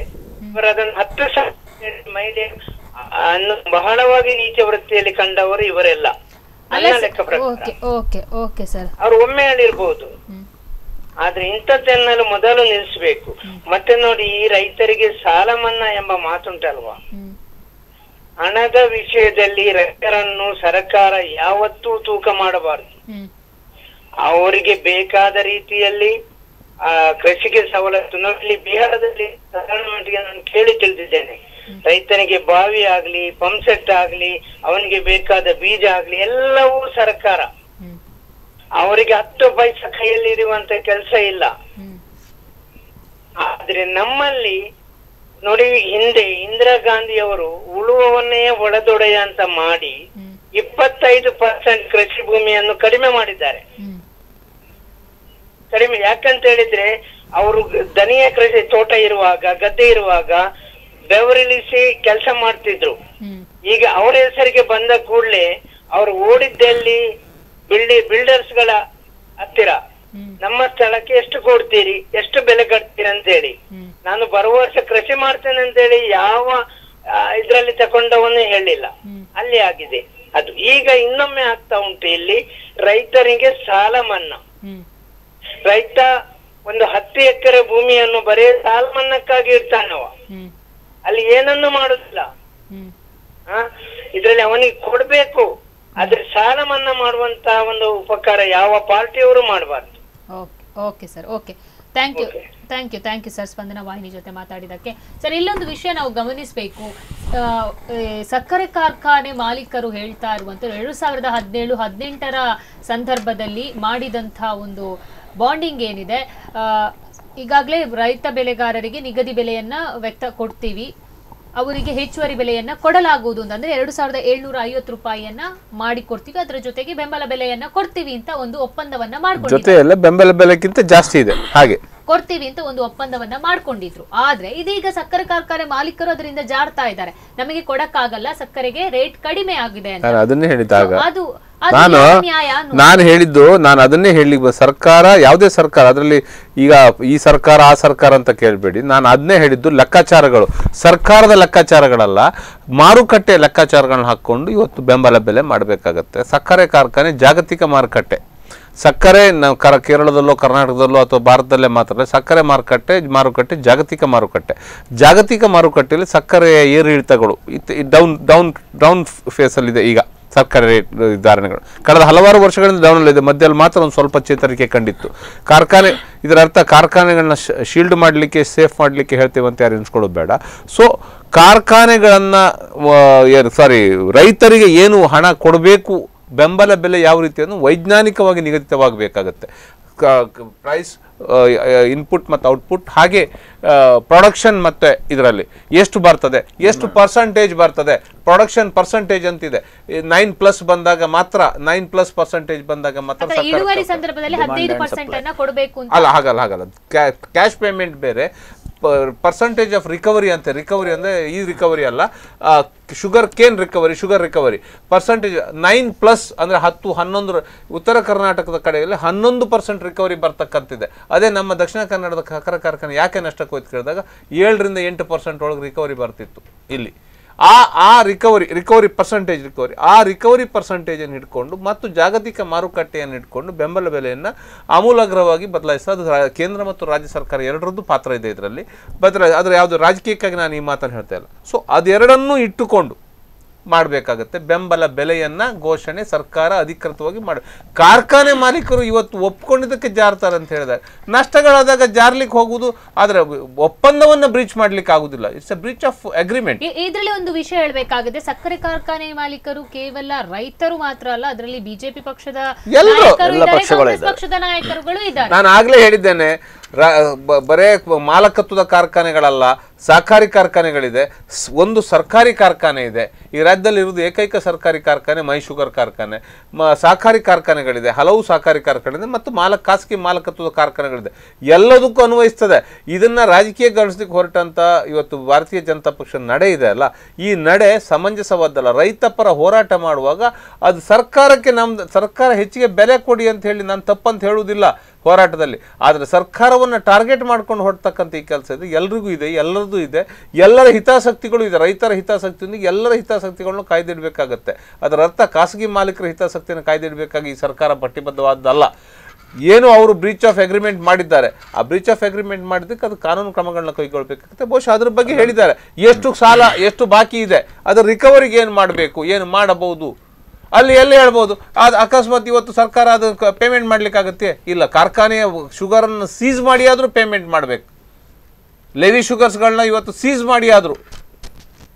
ಬ್ಯಾಂಕಿಂಗ್ ಪ್ಲಜ್ ಅಡಮಾನಗಳಲ್ಲಿ ಏನು ಗೊತ್ತಾ ನಿಮಗೆ? ನಿಮ್ಗೆ ಗೊತ್ತಿರ್ಬೋದು ಪ್ರೋಸೆಸ್ ಹೇಗೆ ನಡೀತಾ ಅಂತ ಶುಗರ್ ಪ್ರೊಡಕ್ಷನ್ ಆದ ಕೂಡಲೇ ಅದನ್ನು ಪ್ಯಾಕಿಂಗ್ ಆಗಿ ಗೋಡನಿಗೆ ಹಾಕ್ತಾರೆ. ಗೋಡನಲ್ಲಿ ಬ್ಯಾಂಕಿಗೆ ಅಡಮಾನ ಕೊಡ್ತಾರೆ. ಒಂದಿಷ್ಟು ಲೆವಿ ಶುಗರ್ ಹೋಗ್ತದೆ. ಅದನ್ನ ಸರ್ಕಾರ ಅಡಮ ಕೇಂದ್ರ ಸರ್ಕಾರದ ಲೆವಿಯನ್ನು ಬಿಡುಗಡೆ ಮಾಡ್ತಕ್ಕಂಥ ಅಧಿಕಾರ ಕೇಂದ್ರ ಇಷ್ಟು ಕೊಡಲೇಬೇಕು. ಒಂದು ಕಾರ್ಖಾನೆ ಇಷ್ಟು ಲೆವಿ ಶುಗರ್ನ ಕೊಡಲೇಬೇಕು ಅಂತಕ್ಕಂಥ ಇರ್ತದೆ. ಹಾಗೆ ಅಡಮಾನ ಹೋಗ್ತದೆ. ಬ್ಯಾಂಕಿನ ಅಡಮಾನದನ್ನು ಒಡಿಸಿ ಆದರೂ ರೈತರ ಮುಕ್ತ ಮಾರುಕಟ್ಟೆ ಮಾಡಿಸಿ ಮಾರ್ತೇವೆ ಅಂತಕ್ಕಂಥ ದಿಟ್ಟ ನಿರ್ವಹಣೆ ತಗೊಳ್ಬೇಕು. ಬಹುಶಃ ಆ ಒಂದೆರಡು ಸಂಧಾನದ ಮಾತುಗಳು ಕಾ, ಮಾರ್ಕ, ಕಾರ್ಖಾನೆ ಮತ್ತು ರೈತರ ಮಧ್ಯೆ ನಡೆದ ನಂತರಗಳಲ್ಲಿ ಕಠಿಣ ನಿರ್ಧಾರವನ್ನು ಈ ಸರ್ಕಾರ ತಗೊಂಡೇ ತಗೊಳ್ತದೆ ಇವತ್ತು ಇಪ್ಪತ್ನಾಲ್ಕು ಗಂಟೆ, ನಲವತ್ತೆಂಟು ಗಂಟೆ ಕಳೆದಿದ್ದಷ್ಟೇ ಮಾತುಕತೆ ಕುಳಿತು. ಮಂಗಳವಾರ ದಿವಸ ಮಾತುಕತೆ ಅಲ್ಲ ನಿನ್ನೆ ಕೂತಂತಹ ಆರೂವರೆ ಗಂಟೆಯ ಒಂದು ಸಭೆಯಲ್ಲೂ ಕೂಡ ರೈತರಿಗೆ ಯಾವುದೇ ರೈತರ ಲಕ್ಷಾಂತರ ರೈತರ ಹಿತಾಸಕ್ತಿ ಮತ್ತು ಜಾಗತಿಕ ಮಾರುಕಟ್ಟೆಯನ್ನ ಅವಲಂಬಿಸತಕ್ಕಂತ ಅವಲಂಬಿಸ್ತಕ್ಕಂಥ ಬೆಲೆ ಅದನ್ನೊಂದು ಆರು ಗಂಟೆಯಲ್ಲಿ ಕೂತ್ಕೊಂಡು ನಿರ್ಣಯ ಅಲ್ಲ ಮಾಡಿದ್ದಾರೆ ಸರ್ ಇವಾಗ ಏನು ರಾಜಕೀಯ ನಿರ್ಣಯ? ಸಿಎಂ ಅವರು ವಿಫಲರಾಗಿದ್ದಾರೆ. ಒಂದೊಂದು ಅಭಿಪ್ರಾಯ ಅಲ್ಲ. ಸರ್ವರ ಅಭಿಪ್ರಾಯ ಹೌದು ಆದ್ರೆ ಒಂದ್ ನೆನ್ಪಿಟ್ಕೊಳ್ಳಿ ಒಂದ್. ನೆನ್ಪಿಟ್ಕೊಳ್ಳಿ ಸರ್ಕಾರಿ- ವ್ಯಾಪಾರ ಸಕ್ಕರೆ ಕಾರ್ಖಾನೆ ಮಾಲೀಕರ ವಿರುದ್ಧ ಕ್ರಮವನ್ನ ಕೈಗೊಳ್ಳಿ ನೋಡಿ ಯಾವುದೇ ಯಾವುದೇ ನೋಡಿ? ಯಾವುದೇ ಯಾವುದೇ ವ್ಯಾಪಾರಿ ವ್ಯಾಪಾರಿ ನಿರ್ಣಯಗಳನ್ನ ತಗೊಳ್ಳಿಕ್ಕೆ ಸರ್, ರೈ- ತಕೊ- ಅಲ್ಲ ಅಲ್ಲ ಸರ್, ರೈತರ ಜೊತೆ ನೀವು ಮಾತು ಸಂಧಾನಕತೆ ಕೇಳ್ಕೊಳ್ಳಿ. ಕೇಳಿ ಮೇಡಮ್ ನಾವ್ ಹೇಳುದು ನಾವ್? ಹೇಳುದು ನಾವ್ ಹೇಳುದು ಆಲೈಸಿ ಕೇಳ್ಕೊಳ್ಳಿ. ಯಾವುದೇ ಒಂದು ವ್ಯಾಪಾರಿ ನಿರ್ಣಯವನ್ನು ತಗೊಳ್ಳೋದಲ್ಲ ಸಮಗ್ರ ಮೂಲಭೂತ ನೀತಿಯನ್ನ ಬದಲಾಯಿಸ್ತಕ್ಕಂತ ವ್ಯವಸ್ಥೆ ಎಲ್ಲ ಆಗ್ತದೆ. ಅದನ್ನ ಏಕಾಏಕಿ ನಿರ್ಣಯ ತಗೊಳ್ಳಿಕ್ಕೆ ಆಗುದಿಲ್ಲ. ಎಲ್ಲ ಅಹವಾಲುಗಳನ್ನು ಕೇಳ್ಕೊಂಡು ಕೇಳ್ಕೊಂಡು ಮಾಡ್ತಕ್ಕಂಥ ಕೆಲಸ. ಅದನ್ನ ಏಕಾಏಕಿ ನಿರ್ಣಯ ಘೋಷಣೆ ಮಾಡ್ಲಿಕ್ಕೆ ಮುಖ್ಯಮಂತ್ರಿಗಳು ಒಬ್ಬರಿಂದಲೇ ಸಂಪುಟ ಸಭೆ ಕರಿಬೇಕು ಸರ್ವ ಪಕ್ಷಗಳ ಸಭೆ ಕರಿಬೇಕು. ನಿರ್ಣಯಗಳು ಹಲವು ಆಗಬೇಕು. ಏನು ವ್ಯಾಪ ಏನು ಏಕೈಕಿ ನಿರ್ಣಯ ಹಿಟ್ಲರ್ ರೈತರದ್ದು ಸಭೆ ಕರೀತಿ ಒಪ್ಕೊಂತೀವಿ. ಒಬ್ಬ ರಾಜ್ಯದ ಮುಖ್ಯಮಂತ್ರಿಗೆ ಸಕ್ಕರೆ ಕಾರ್ಖಾನೆಗಳ ಮಾಲೀಕರನ್ನ ಕರೆದು ಸಭೆ ನಡೆಸಕ್ ಆಗ್ತಾ ಇಲ್ವಾ ಹೇಗೆ? ನೋಡಿ ನೀವು ಹೇಳಿದ ರೈತರ ಸಭೆಗೆ ದಿನಾಂಕವನ್ನು ನಿಗದಿಪಡಿಸೋ ರೀತಿಯಲ್ಲಿ ಮಾಲೀಕರ ಸಭೆ ದಿನಾಂಕವನ್ನು ನಿಗದಿಪಡಿಸಬೇಕು ನಿಗದಿಪಡಿಸಿ ಬೇಕಾ ಸರ್ ಅದಕ್ಕೆ? ಇಷ್ಟು ವರ್ಷ ಅಲ್ಲ. ಪ್ರತಿ ವರ್ಷವೂ. ನಡೀತದೆ. ನಿಮ್ಗೆ ಗೊತ್ತಿಲ್ಲದೆ ಇರುವಂತ ವಿಷಯ ಹೇಳ್ತೇನೆ, ಪ್ರತಿ ವರ್ಷವೂ ಬೆಂಬಲ ಬೆಲೆ ನಿಗದಿಗಾಗಿ ಸಭೆಗಳು ನಡೀತವೆ. ಪ್ರತಿ ವರ್ಷವೂ ಯಾ ಎಲ್ಲ ಕಡೆಯಲ್ಲೂ ಎಲ್ಲ ನಬಾರ್ಡಿಂದ ಸಭೆಗಳು ನಡೀತವೆ. ಪ್ರತಿ ಕಡೆಯಲ್ಲೂ ಸಭೆ ನಡೀತದೆ. ಅದನ್ನ ಅದನ್ನ ಅತಿರೇಕದ ವರದಿಗಳನ್ನ ಯಾರು ಮಾಡ್ಲಿಕ್ಕೆ ಮಾಡಬಾರ್ದು ಅಥವಾ ಅದರ ಉದ್ದೇಶಗಳನ್ನ ತಿರುಚಬಾರ್ದು. ಇಷ್ಟು ವರ್ಷ ಬೇಕಲ್ಲ. ಇವತ್ತು ಕರೆದ ಸಭೆಗೆ ಬಾರದಿದ್ರೆ ಮುಂದೆ ಸಭೆಯನ್ನು ಕರೆಸಬೇಕಾಗಿ. ಇಲ್ಲಿ ಸರ್ಕಾರ ಅದನ್ನ ಸೂಪರ್ಸೀಡ್ ಮಾಡಿ ಅದು ತಗೊಳ್ತದೆ ತಗೊಳ್ತಕ್ಕಂಥ ಅಧಿಕಾರಗಳು ಈ ಸರ್ಕಾರಕ್ಕೆ ಇರ್ತದೆ. ರೈತ ಚಳವಳಿ ಆದರೆ ಅಥವಾ ರೈತನ ಬೇಡಿಕೆಗಳು ಈಡೇರಿದಾಗ ಅದ್ರ ಬಗ್ಗೆ ಆಲೋಚನೆ ಮಾಡಿ. ಆದರೆ ಅದಕ್ಕೂ ಮೊದಲು ಹಲವು ಕ್ರಮಗಳಿದೆ. ಅದನ್ನ ಏಕಾಏಕಿ ಮಾಡ್ಲಿಕ್ಕೆ ಹೋಗ್ಲಿಕ್ಕೆ ಆಗುದಿಲ್ಲ. ಮಾಲೀಕ ಕಾರ್ ಕೋರ್ಟಿಗೆ ಹೋಗ್ತಾನೆ ನಾಳೆ. ನಾಳೆ ಮಾರ್ಕ ಕೋರ್ಟಿಗೆ ಹೋದಕ್ಕಂತ ಅದೆಲ್ಲ ಏಕಾಏಕಿ ಕ್ರಮಗಳನ್ನ ಕೈಗೊಳ್ಳಕ್ಕೆ ಆಗ್ತಾ ಇಲ್ಲ ಅಂದ್ರೆ ಇಷ್ಟು ತನಕ ರೈತರು ಹೋರಾಡುವ ತನಕ ಕಾಯ್ಬೇಕಿತ್ತ ಸರ್ಕಾರ? ಯಾವುದು ಹಸಿವೆಯಾಗಿ ಅಮ್ಮ ಅಂತ ಕರೆದ ತಾಯಿ ಹಾಲು ಉಣಿಸುವುದಿಲ್ಲ. ನೆನ್ಪಿಟ್ಕೊಳ್ಳಿ. ಇದು ಹಾಗಿದ್ರೆ ನಿಮ್ಮ ಪ್ರಕಾರ ಪ್ರತಿ ಸಲ ರೈತರು ಹೋರಾಟ ನಡೆಸಬೇಕು. ಅನ್ನುವಂಥದ್ದು. ಮಾಡಿ. ಈ ಸರ್ಕಾರ ಎಲ್ಲ ಸರ್ಕಾರಗಳ ಸಂದರ್ಭಗಳು ಇದು ನಡೆದಂತದ್ದು ಇದು ಇವತ್ತು ಮಾತ್ರ ಅಲ್ಲ. ಎಲ್ಲಾ ಸರ್ಕಾರಗಳು ಭಾರತೀಯ ಜನತಾ ಪಕ್ಷ ಇದ್ದಾಗಲೂ ರೈತ ಬೀದಿಗಿಳಿದಿದ್ದಾನೆ. ಗುಂಡಾಕಿದ್ದಾರೆ ಇವರು. ಏನ್ ಕೇಳಬೇಡಿ. ಎಲ್ಲ ಆಗಿದೆ. ಅವರೇನೋ ಅದಕ್ಕೆ ಎಲ್ಲ ಸರ್ಕಾರಗಳು ಮಾಡಿದ ಆದ್ರಿಂದ ಸರ್ಕಾರಗಳ ಮೇಲೆ ಗೂಬೆ ಈ ಸರ್ಕಾರ ಘೋಷಣೆಗೆ ಸೀಮಿತವಾಗಿದೆ. ಪರಿಹಾರ ಏನು ಅಂತ ರೈತರ ಸಾಲವನ್ನ ಒಂದು ರೂಪಾಯಿ ಪೇಮೆಂಟ್ ಪೇಮೆಂಟ್ ಆಗ್ಲಿಲ್ಲ. ಸಾಲ ಸರ್ಕಾರ ಐವತ್ ಐವತ್ತು ಸಾವಿರ ಪೇಮೆಂಟ್ ಐವತ್ತು ಇವತ್ತು ನಿಮಿಷ, ಅವರೇ ಶಿವಕುಮಾರ್ ಅವರೇ ಒಂದ್ ನಿಮಿಷ ಒಂದ್ ನಿಮಿಷ. ಒಂದು ನಿಮಿಷ ಒಂದು ನಿಮಿಷ ಒಂದು ನೀವು ಮಾತಾಡ್ಬೇಕು ನಾವು ಮಾತಾಡ್ಬೇಕು. ನಾವು ಮಾತಾಡ್ ನೋಡಿ ಕಳೆದ ಬಾರಿಯ ರೈತ ಏನು ಸಿದ್ದರಾಮಯ್ಯನವರ ನೇತೃತ್ವ ಸರ್ಕಾರದ ಸಂಪೂರ್ಣ ಸಾಲ ಮನ್ನಾ ಆಗಿದೆ. ಇವತ್ತು ಕುಮಾರಸ್ವಾಮಿ ಅವ್ರ ನೀವು ಮಾತಾಡ್ತೀರ ಮಾತಾಡ್ಕೊಳ್ಳಿ. ಮಾತಾಡಿ, ಮಾತಾಡಿ. ಅದ್ರಲ್ಲಿ ನಿಲ್ಸ್ಕೊಳ್ತೇನೆ. ಹೇಳಿ ಹೇಳಿ. ಇಂಟ್ರಪ್ಷನ್ ಮಾಡ್ಬೇಡಿ ನೀವು ಮಾತಾಡೋ ನಾನು ಮಾತಾಡ್ಲಿಲ್ಲ. ಹೇಳಿ ಅಲ್ಲ ನೋಡಿ ಇವತ್ತು ಇವತ್ತು ಆಯ್ತಾ? ಮುಗೀತಾ? ಇವತ್ತು ಇವತ್ತು ಕುಮಾರಸ್ವಾಮಿ ಅವರ ಸರ್ಕಾರ ನವೆಂಬರ್ ಇಪ್ಪತ್ತೈದನೇ ದಿನಾಂಕ ತನಕ ರೈತರ ಸಾಲ ಮನ್ನಾದ ಇದನ್ನ ಏನು ಕೇಳಿಕೆಯನ್ನ ಕೊಡಲಿಕ್ಕೆ ಅವಧಿ ಕೊಟ್ಟಿದೆ. ಅರ್ಥ ಮಾಡ್ಕೊಳ್ಳಿ. ಎಲ್ಲ ಬಿಲ್ಗಳು ಇಷ್ಟೊತ್ತರ ಕೊಟ್ಟ ಬಿಲ್ಗಳೆಲ್ಲ ಪರಿಶೀಲನೆಯಲ್ಲಿದೆ. ಯಾ ಮನ್ನಾ ಮಾಡ್ಬೇಕಂತ ಹೇಳಿದ್ರೆ ಅದಕ್ಕೇನು ಪ್ರೋಸೆಸ್ ಇಲ್ವಾ? ಏನು ಐಸ್ ಕ್ರೀಮ್ ತಿಂದಾಗ ಮನ್ನಾ ಮಾಡುದಂದ್ರೆ ಐಸ್ ಕ್ರೀಮ್ ತಿಂದಾಗ. ಎಲ್ಲಿ ಎಲ್ಲಿ ಐದು ವರ್ಷ ಅಲ್ಲ ಮಾ ಸಾಲ ಮನ್ನಾ ಮಾಡಿ ದಿನಾಂಕ ಎಷ್ಟಾಯ್ತು? ಇವತ್ತಿಗೆ ಒಂದು ತಿಂಗಳಾಯ್ತು ಸಾಲ ಮನ್ನಾ ಘೋಷಣೆ ಒಂದೂವರೆ ತಿಂಗಳಾಯ್ತು. ಒಂದೂವರೆ ತಿಂಗಳಾದ ಮೇಲೆ ಅದಕ್ಕೆ ಪ್ರೋಸೆಸ್ ಇದೆ. ನೀವು ಮಾತಾಡೋದು ನೀವು ಮಾತಾಡಿ ನಾನು ಮಾತಾಡ್ಕೊಳ್ತೇನೆ. ಕಂಪ್ಲೀಟ್ ಮಾಡ್ಕೊಳ್ಳಿ ಸರ್. ಬೇಗ ಟೈಮ್ ಇಲ್ಲ. ಹೇಳಿ. ಸರ್. ಮಾ ನೋಡಿ ಇವತ್ತು ಏನಾದ್ರೂ ಏನಾದ್ರೂ ಒಂದು ಕಪೋಕಲ್ಪಿತ ಕಥೆಗಳನ್ನ ಕಟ್ತಕ್ಕಂಥ ಕೆಲಸವನ್ನು ಭಾರತೀಯ ಜನತಾ ಪಕ್ಷ ಬಿಡ್ಲಿ. ಇವತ್ತು ರೈತರ ಸಾಲ ಮನ್ನಾಕ್ಕೆ ಅವಧಿ ದಿನಾಂಕ ಇಪ್ಪತ್ತೈದನೇ ತಾರೀಕಿನ ತನಕ ಅವಧಿ ಅದು ಸಬ್ಮಿಷನಿಗೆ ಅರ್ಥ ಮಾಡ್ಕೊಳ್ಳಿ. ಈಗಾಗಲೇ ಎರಡು ಪಟ್ಟಿಗಳು ಹೋಗಿ ಆಗಿದೆ ಕೊನೆಯ ಪಟ್ಟಿಗೆ ಇಪ್ಪತ್ತೈದು ದಿನಾಂಕ, ಮೊನ್ನೆ ಮೂವತ್ತನೇ ತಾರೀಕಿಗೆ ಕೊಟ್ಟಿದ್ರು. ಅದನ್ನು ಮತ್ತೆ ಹತ್ತನೇ ತಾರೀಕಿಗೆ ಮುಂದೋಡಿಸು ಮತ್ತೆ ಮತ್ತೆ ಅದನ್ನ ಇಪ್ಪತ್ತೈದನೇ ತಾರೀಕು ಯಾಕಂದರೆ ರೈತರಿಗೆ ಕೆಲವು ಕಂಡೀಷನ್ಗಳನ್ನ ಆಧಾರ್ ಕಾರ್ಡ್ ಜೋಡಣೆ, ಇದೆಲ್ಲ ಕಂಡೀಷನ್ಗಳನ್ನ ಹಾಕಿದ್ರಿಂದ ಅದನ್ನು ಮಾಡ್ಕೊಳ್ದಿದ್ದಕ್ಕೆ ಇವತ್ತು ಅವಕಾಶಗಳನ್ನ ಕೊಟ್ಟಿದ್ದಾರೆ. ಇನ್ನೂ ಅವಧಿ ಮುಗ್ದಿಲ್ಲ. ಸಾಲ ಮನ್ನಾ ಘೋಷಣೆಯ ಪ ಪತ್ರಗಳನ್ನ ಇರ್ತಕ್ಕ ಅದ್ರ ಮಧ್ಯೆ ಇವತ್ತು ಇವತ್ತು ಸಾಲ ಮನ್ನಾ ಬಂದಿಲ್ಲ ಅಂತಕ್ಕಂಥ ಮಾತುಗಳು ಇವರು ಆಡ್ತಾರೆ. ಇಂಥ ನೀಚಗೆಟ್ಟ ನಡತೆಗೆಟ್ಟ ಮಾತುಗಳು ಇವ್ರು ನಾವು ಕೇಳಬೇಕಾ? ಕೇಳ್ಬೇಕಾ ಇಂಥ ಮಾತುಗಳು ನಾವು ಕೇಳಬೇಕಾ? ಸಿಎಂ ಅವರಿಗೆ ಇಂಥ ಮಾತುಗಳು ನಾವು ತರ ಯಾವ ತರ ಮಾತು? ತಾಯಿ ಶಬ್ದ ಎಲ್ಲೋಯ್ತು. ತಾಯಿ ನೀವು ನೀನು ಇಲ್ಲಿವರೆಗೆ ಎಲ್ಲಿದ್ಯಾ ನಾಯಿ ನೀವು ತಾಯಿ ನೀವು? ಇಲ್ಲಿವರೆಗೆ ಎಲ್ಲಿದ್ಯಾ ಅಂತ ಕೇಳಿದ ಮಾತುಗಳನ್ನ ಇವರಿಗೆ ಕಿವಿ ತಾಯಿ ಕಿವಿಗೆ ಎಣ್ಣೆ ಬಿಟ್ಕೊಂಡಿಲ್ವರು ನಿಮ್ಗೆ ಹೋರಾಟ ಮಾಡುವ ಘೋಷಣೆ ಮಾಡುವ ಹೋರಾಟದ ಘೋಷಣೆಗಳು. ಹೋರಾಟದ ಘೋಷಣೆಗಳನ್ನ ಭಾರತೀಯ ಜನತಾ ಮಾಡ್ಕೊಂಡೇ ಬಂದದ್ದು. ಇವತ್ತು ಹೋರಾಟದಲ್ಲ ಯಾವ ಹೋರಾಟ ಇವರು ಮಾಡ್ಲಿಲ್ಲ. ಮಾಡಿದ್ದೇ ಮಾಡಿದ್ದಿದೆ ಕೆಲಸ. ಮಾಡಿದ್ದು ಕೇಳಿದ್ರೆ ಜೈಲಿಗೆ ಹೋಗಿ ಬಂದು ಕೈ ತಿರುಗಿ ಸಿಗ್ಬೇಕಲ್ವಾ? ಜೈಲಿಗೆ ಹೋಗಿ ಬಂದು ಕೈ ತಿರುಗಿಸಿದಂತ ಸರ್ಕಾರ ಇವರು ಜೈಲಿಗೆ ಮುಖ್ಯಮಂತ್ರಿಗಳು ಇಂದಿರಾ ಒಂದು ಗಾಂಧಿ ಅವಧಿಯಲ್ಲಿ ಇಂದಿರಾ ಗಾಂಧಿ ಇಂದಿರಾ ಗಾಂಧಿ ಪ್ರಧಾನ ದೇಶವನ್ನ ಜೈಲು ಮಾಡಿ ಒಂದು ನಿಮಿಷ ನಿಲ್ತೀರಾ? ಒಂದು ಒಂದು ನಿಮಿಷ ನಿಲ್ತೀರಾ? ಇಂದಿರಾ ಗಾಂಧಿ ಪ್ರಧಾನ ಮಂತ್ರಿ ಪಟ್ಟದ ಕೆಳಗಿಳಿದು ಇದು ಮುಖ್ಯಮಂತ್ರಿ ಗಾದಿ ಕೆಳಗೆ. ಹೋದವರಲ್ಲ ಇವರು. ಇವರು ಒಂದು ಅವಧಿಗೆ ಹೋದವರು. ಇವರು ಮಾತಾಡ್ತಾರೆ. ತುರ್ತು ಪರಿಸ್ಥಿತಿಯನ್ನು ಹೇರಿಡಿ ಸ್ವಾಮಿ ಬಿಜೆಪಿ ಅವರ ಇಡೀ ನೀತಿ ಕಲಿಬೇಕಾಗಿಲ್ಲ ನಮಗೆ. ಬಿಜೆಪಿ ಅವರ ಹತ್ರ ನೀತಿ ಕಲಿಬೇಕಾದ ಅಗತ್ಯತೆಗಳಿಲ್ಲ ನಮಗೆ. ನೈತಿಕತೆ ಇವತ್ತು ನಡೆದಂತಹ ಬಿಜೆಪಿಯ ಹೋರಾಟದಲ್ಲಿ ಎಷ್ಟು ಸಫಲ ಆಯ್ತು? ಸಾಕಷ್ಟು ಜನ ಸೇರ್ತಾರೆ ಅನ್ಕೊಂಡ್ರು ಕೇವಲ ಐನೂರರಿಂದ ಆರ್ನೂರು ಜನ ಮಾತ್ರ ಇವತ್ತು ಬಿಜೆಪಿಯ ನಾಯಕರು ಈ ಒಂದು ಹೋರಾಟದಲ್ಲಿ ಪಾಲ್ಗೊಂಡು ಉಳಿದವ್ರು ಎಲ್ಲೋದ್ರು ಆಗಿದ್ರೆ ಇರ್ಬೋದು. ಈಗ ಹೋರಾಟಗಳು ಬಿಜೆಪಿ ಹೋರಾಟಗಳಿಂದಲೇ ಇವತ್ತು ಮುಂಚೂಣಿಗೆ ಬಂದಂಥ ಪಕ್ಷ.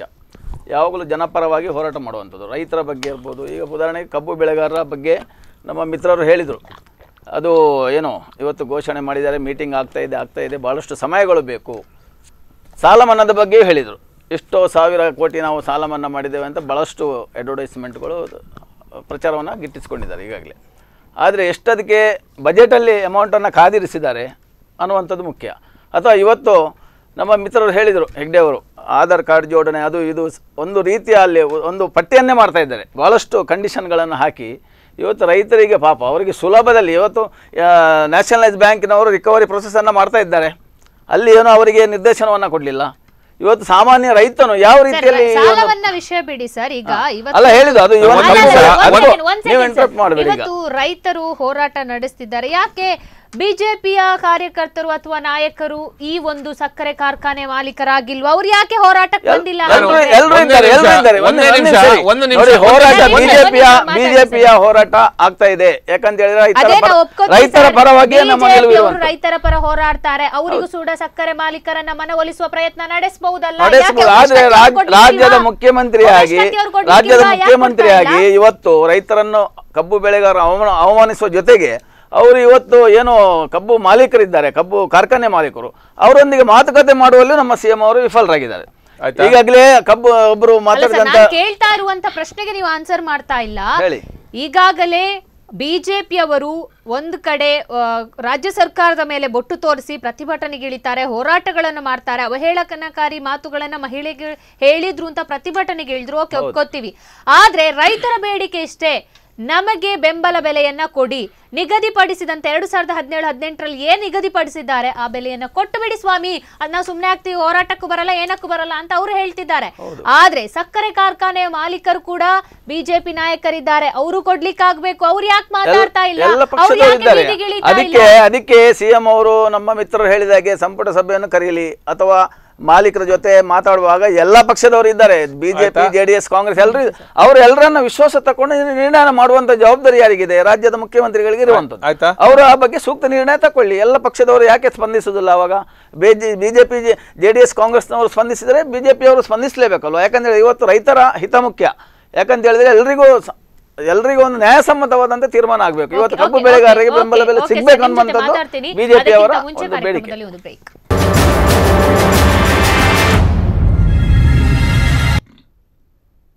ಕಬ್ಬಿನ ಕಾಳಗ ನೇರ ಪ್ರಸಾರ ಕಾರ್ಯಕ್ರಮಕ್ಕೆ ಮತ್ತೊಮ್ಮೆ ಸ್ವಾಗತ. ಸರ್ ನೀವು ಹೇಳ್ತಾ ಇದ್ರಿ ಇವರ ಮಾತಿಗೆ ಏನು ಹೇಳಬೇಕು ಅಂತ ಹೇಳಿ ಸರ್.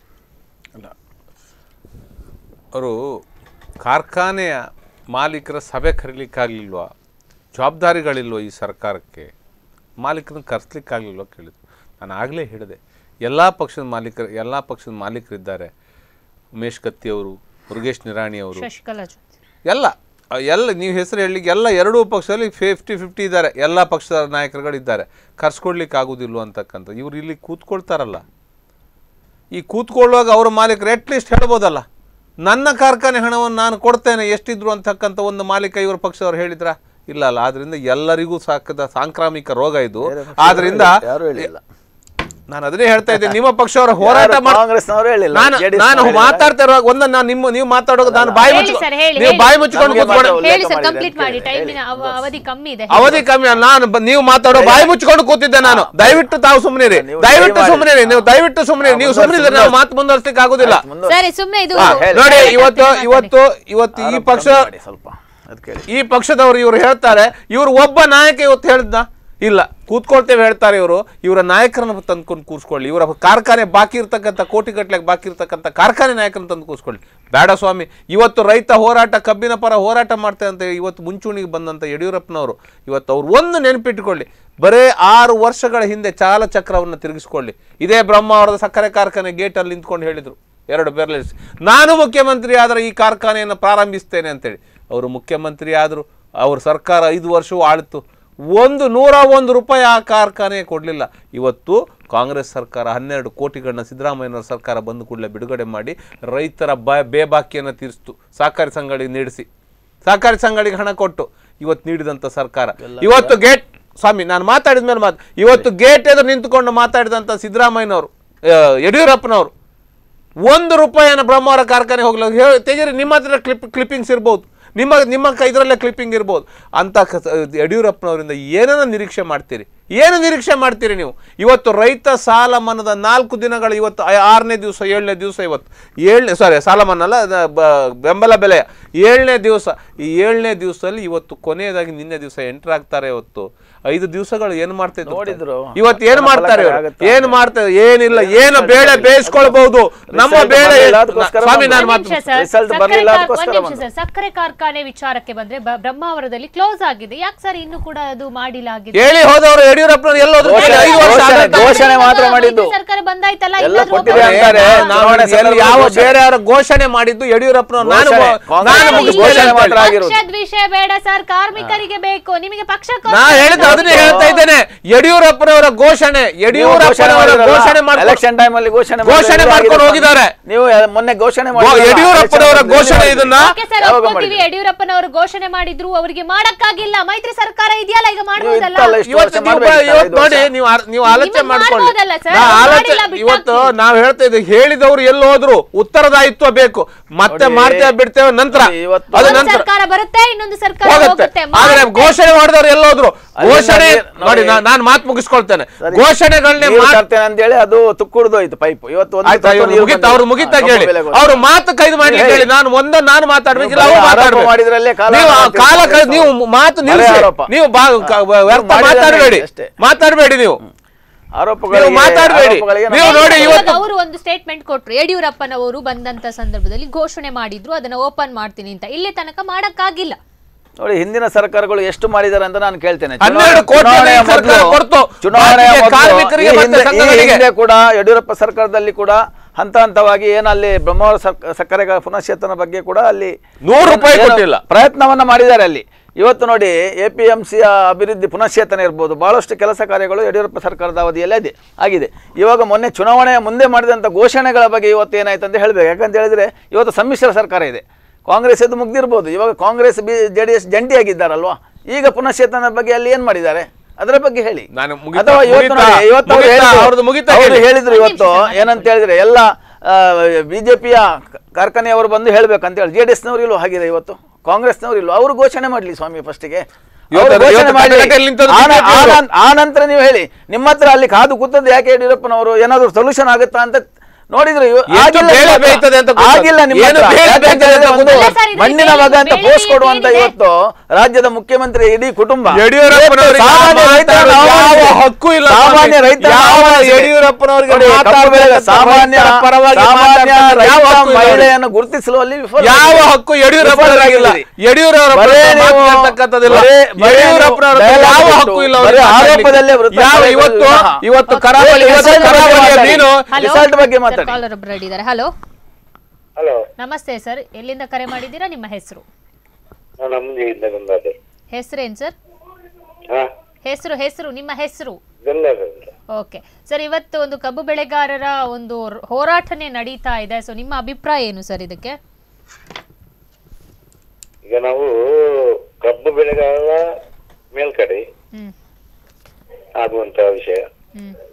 ಈಗ ನಾವು ದಕ್ಷಿಣ ಕನ್ನಡ ಜಿಲ್ಲೆಯಲ್ಲಿ ಟಿವಿ ಸ್ಪಂದನ ನಮ್ಮದು ಲೋಕಲ್ ಆದ್ರೂ ರಾಜಕೀಯವರದ್ದು ಕಾಂಗ್ರೆಸ್ ಆಗ್ಲಿ ಬಿಜೆಪಿ ಆಗ್ಲಿ ಇದನ್ನು ನಂಬಿ ಹೋಗ್ಲಿಕ್ಕೆ ಯಾರಿಂದಲೂ ಸಾಧ್ಯ ಇಲ್ಲ. ಎಲ್ಲರೂ ಹ್ಮ್. ಅದು ಅವರೇ ಒಪ್ಕೊಂಡ್ರು ಸರ್. ಫಿಫ್ಟಿ ಫಿಫ್ಟಿ ನಾವು ಇದ್ದೀವಿ ಅಂತ ಅವರೇ ಒಪ್ಕೊಂಡಿದ್ದಾರೆ ಇವಾಗ. ಎಂತ ಇದ್ರಿ ಸ್ವಾಮಿ? ಯಾವ ಕಡೆ ಇದ್ರಿ? ನೀವು ದಕ್ಷಿಣ ಕನ್ನಡ ಜಿಲ್ಲೆಯಲ್ಲಿ ಮರಳಿನ ನೋಡಿ. ರಾಜಕೀಯ ಅಲ್ವಾ ಇದನ್ನು ನೋಡಿ ಅಲ್ಲಿ ಕಬ್ಬು ಕೇಳಿ ಸರ್ ಕೇಳಿ ಕೇಳಿ. ಇಬ್ರು ಪಕ್ಷದವರು ಇದ್ದಾರೆ ಕೇಳಿ. ಇಲ್ವಾ ಅವ್ರ ಹತ್ರನೇ ಇಲ್ಲಿ ಹೆಚ್ಚು ಎಷ್ಟು ವರ್ಷದಲ್ಲಿ ಕಾಡು ಮರಳುಗಾರಿಕೆ ಇದನ್ನು ನೋಡಿ. ಎಷ್ಟು ಕಾರ್ಮಿಕರು ಇದೆ ಇದರಲ್ಲಿದ್ದಾರೆ ಇಲ್ಲಿ. ಕೆಲಸ ಇಲ್ಲದೆ ಮೇಸ್ತ್ರಿಗಳು ಮಣ್ಣೆಂಬ ಈ ರೈತರಾಗಿ ಮೇಸ್ತ್ರಿ ಆತ್ಮಹತ್ಯೆ ಮಾಡಿಕೊಂಡಿದ್ದಾನೆ ಕೆಲಸ ಇಲ್ಲದಂತ ಪೇಪರ್ನಲ್ಲಿ ಬಂದಿದೆ. ಇದನ್ನೆಲ್ಲ ಏನ್ ಮಾಡಿದ್ರು ಡಿ ಸಿ ಕೊಡುವುದಿಲ್ಲ ಡಿ ಸಿ ಕೊಡುವುದಿಲ್ಲ ಇರ್ತಾರೆ ಸರ್ಕಾರ. ಇದಕ್ಕೆ ಏನಂತ ಅರ್ಥ ಮಾಡುದು ನಾವು?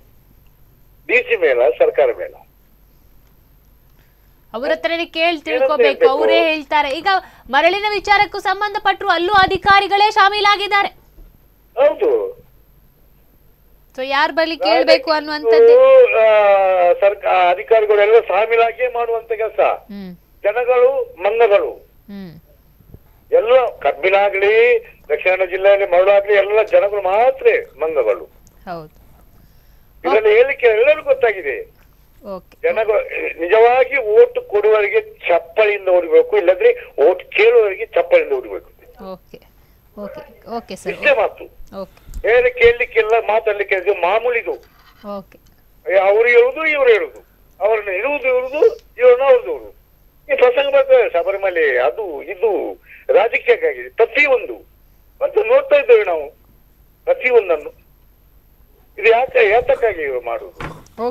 ಸರ್. ಜನಗಳನ್ನು ಇವರ ಜನಗಳನ್ನು ಇಬ್ಬರು ಪಕ್ಷ ಮೂರು ಅದು ಬಿಡಿ ದಳ ಬಿಡಿ ಇಲ್ಲಿ ದಕ್ಷಿಣ ಕನ್ನಡ ಜಿಲ್ಲೆ ಬಿಜೆಪಿ ಮತ್ತು ಕಾಂಗ್ರೆಸ್ ಜನಗಳ ರಕ್ತಗಳನ್ನು ಇರುವುದು ಇವರು. ಅಂತ ರಾಜಕೀಯದವರು ಇವರು. Okay sir okay. ಸ್ಪಂದನ ವಾಹಿನಿ ಜೊತೆ ಮಾತಾಡಿದಕ್ಕೆ ಧನ್ಯವಾದ. ಅವ್ರು ಹೇಳ್ತಾ ಇರುವಂತದ್ದಿದೆ ಯಾವುದೇ ವಿಚಾರ ಆಗ್ಲಿ ಕೃಷಿ ಅಂತಲ್ಲ ಯಾವುದೇ ವಿಚಾರಕ್ಕೆ ಸಂಬಂಧ ಬಿಟ್ರು ವಿಪಕ್ಷಗಳು ಆಡಳಿತ ಪಕ್ಷವನ್ನ ದೂರೋದು ಆಡಳಿತ ಪಕ್ಷ ವಿಪಕ್ಷಗಳನ್ನ ದೂರೋದು. ಇದು ಬಿಟ್ರೆ ಯಾವುದೇ ಕೆಲಸಗಳು ನಡೆಯುವುದಿಲ್ಲ ಅಂತ. ಏನ್ ಹೇಳ್ತೀರಾ ಸರ್ ಇದಕ್ಕೆ? ಮರಳಿನ ಅಲ್ಲ ಇವತ್ತು ಇವತ್ತು ಇವತ್ತು ರೈತ ಸಮಸ್ಯೆ ಏನಿದೆ? ರೈತ ಸಮಸ್ಯೆ.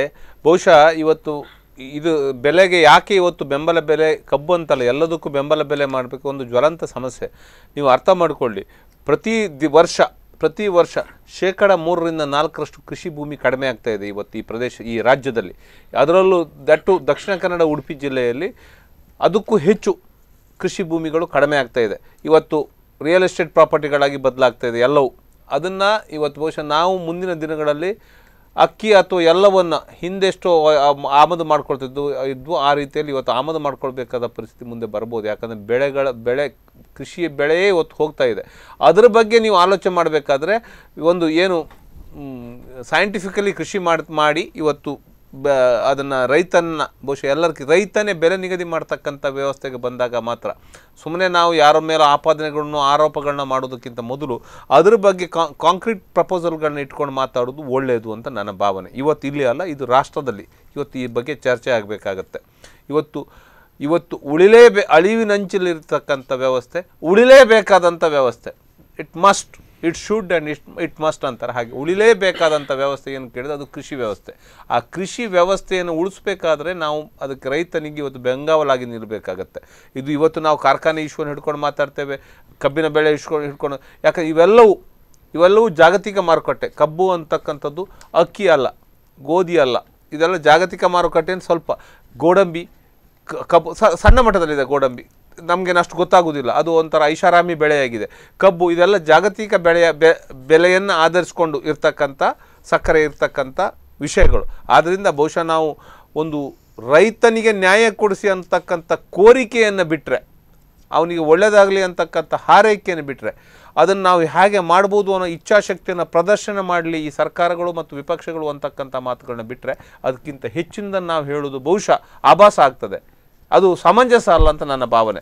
ಇವತ್ತು ರೈತನಿಗೆ ನಾವು ನ್ಯಾಯ ದೊರಕಿಸಬೇಕು ಅಷ್ಟೇ. ಓಕೆ ಸರ್ ಕೈ ನಾಯಕರು ಅಂದ್ರೆ ಕಾಂಗ್ರೆಸ್ ಕಾರ್ಯಕರ್ತರು ಕಾಂಗ್ರೆಸ್ ಕಾರ್ಯಕರ್ತರು ಯಾರೆಲ್ಲ ಸಕ್ಕರೆ ಕಾರ್ಖಾನೆ ಮಾಲೀಕತ್ವವನ್ನು ಹೊಂದಿದ್ದಾರೆ ಅವರಿಗೆ ನೋಟಿಸ್ ಕೊಡುವ ಅಥವಾ ಒಂದು ಎಚ್ಚರಿಕೆ ಕೊಡುವಂತ ಪ್ರಯತ್ನವನ್ನ ನಡೆಸಿದ್ರು. ಅದೇ ಬಿಜೆಪಿಯಿಂದ ಯಾಕೆ ಈ ರೀತಿ ಒಂದು ಪ್ರಯತ್ನಕ್ಕೆ ಮುಂದಾಗಿಲ್ಲ ಅನ್ನುವಂಥದ್ದು? ಈ ಹಿಂದೆ ಇಂತಹ ಪರಿಸ್ಥಿತಿಗಳು ಬಂದಾಗ ಬಿಜೆಪಿ ಸರ್ಕಾರದಲ್ಲಿ ಕೂಡ ಬೆಂಬಲ ಬೆಲೆ ಇರ್ಬೋದು. ಅದು ಯಥಾಸ್ಥಿತಿ ಯಥಾ ರೀತಿಯಲ್ಲಿ ಆಗ್ತಾಯಿತ್ತು ಇಂಥ ಹೋರಾಟಗಳು ಈ ಒಂದು ಪರಿಸ್ಥಿತಿ ಉದ್ಭವಿಸಲಿಲ್ಲ. ಈಗಾಗಲೇ ನಾವು ಕಾಲ್ ಮಾಡಿದಂಥ ಒಬ್ಬರು ಹೇಳಿದರು. ಯಾಕಂತ ಹೇಳಿದರೆ ಸಮಸ್ಯೆಗಳು ಇರ್ತವೆ, ಎಲ್ಲ ರಾಜಕೀಯ ಪಕ್ಷಗಳು ಕೆಚ ಕೆಸರ ಚಾಟ ಮಾಡ್ತವೆ ಅಂತ. ಈಗ ಮರಳಿನ ಸಮಸ್ಯೆ ದೊಡ್ಡ ಅಲ್ಲ ಉದಾಹರಣೆಗೆ ಕಬ್ಬು ಬೆಳೆಗಾರರು ಅದು ರೈತರಿಗೆ. ಕೂಡ. ಕೇಳ್ತಾ ಇರುವ ಪ್ರಶ್ನೆ ಇಷ್ಟೇ. ಕೈ ನಾಯಕರು ಕೈ ನಾಯಕರಿಗೆ ಎಚ್ಚರಿಕೆ ಕೊಡುವ ಪ್ರಯತ್ನ ಮಾಡಿದ್ರು. ಯಾರೆಲ್ಲ ಸಕ್ಕರೆ ಕಾರ್ಖಾನೆಗಳಿದೆ ನಿನ್ನೆ ನೋಟಿಸ್ ಅನ್ನ ಕೊಡ್ಲಿಕ್ಕೆ ಒಂದು ಪ್ರಯತ್ನ ಮಾಡಿದ್ದಾರೆ. ಅದು ಬಿಜೆಪಿಯಿಂದ ಕೊಡುವಂತಹ ಒಂದು ಪ್ರಯತ್ನ ಕೂಡ ನಡೆಸಬಹುದು ಈಗ ಈಗ ಏನಂತ ತೀರ್ಮಾನ ರಾಜ್ಯ ಸಂಪುಟದಲ್ಲಿ ಆಗ್ತದೋ ಎಲ್ಲ ಸಚಿವರು ಇದ್ದಾರೆ.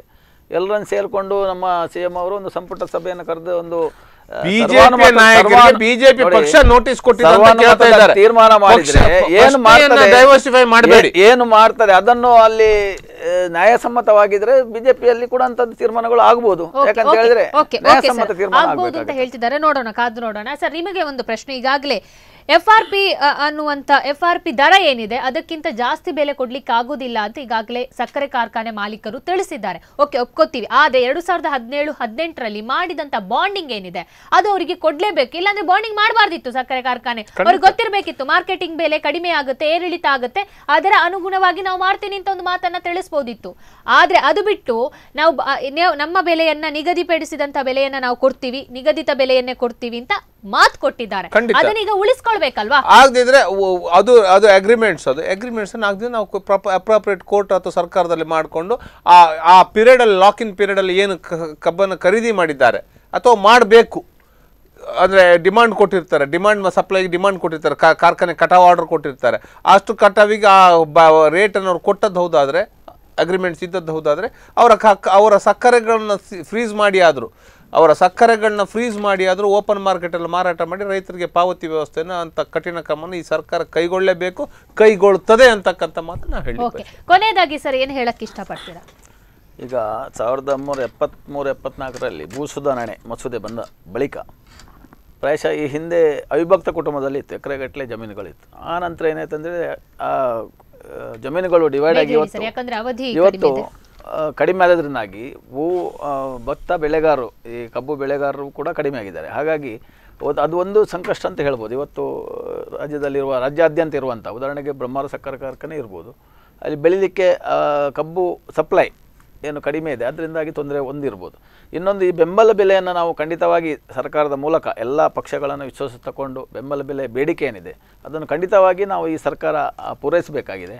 ಅದಕ್ಕೆ ಎಲ್ಲ ವಿಪಕ್ಷಗಳು ಕೂಡ ಅದಕ್ಕೆ ಸಾಮರ್ಥ್ಯವನ್ನು ವ್ಯಕ್ತಪಡಿಸಿ ಇವತ್ತು ಅನ್ನದಾತನಿಗೆ ಆಗುವಂಥ ಅನ್ಯಾಯವನ್ನು ನಾವು ತಡೆಗಟ್ಟಬೇಕು. ಓಕೆ, ರಾಜ್ಯದ ಸರ್, ಸುಭಿಕ್ಷ ಓಕೆ ಸರ್, ನಿಮ್ಮ ಅಭಿಪ್ರಾಯ ಸರ್. ರೈತ ಪರ ಇರಬೇಕು ನಂದು ಭಾಳ ಸ್ಪಷ್ಟ ರೈತನಿಗೆ ಬೆಂಬಲ ಬೆಲೆ ಹೆಚ್ಚಿನ ರೀತಿಯಲ್ಲಿ ಸಿಗಬೇಕು ಅದು ಭತ್ತಕ್ಕೂ ಸಿಗಬೇಕು ಕಬ್ಬಿಗೂ ಸಿಗಬೇಕು.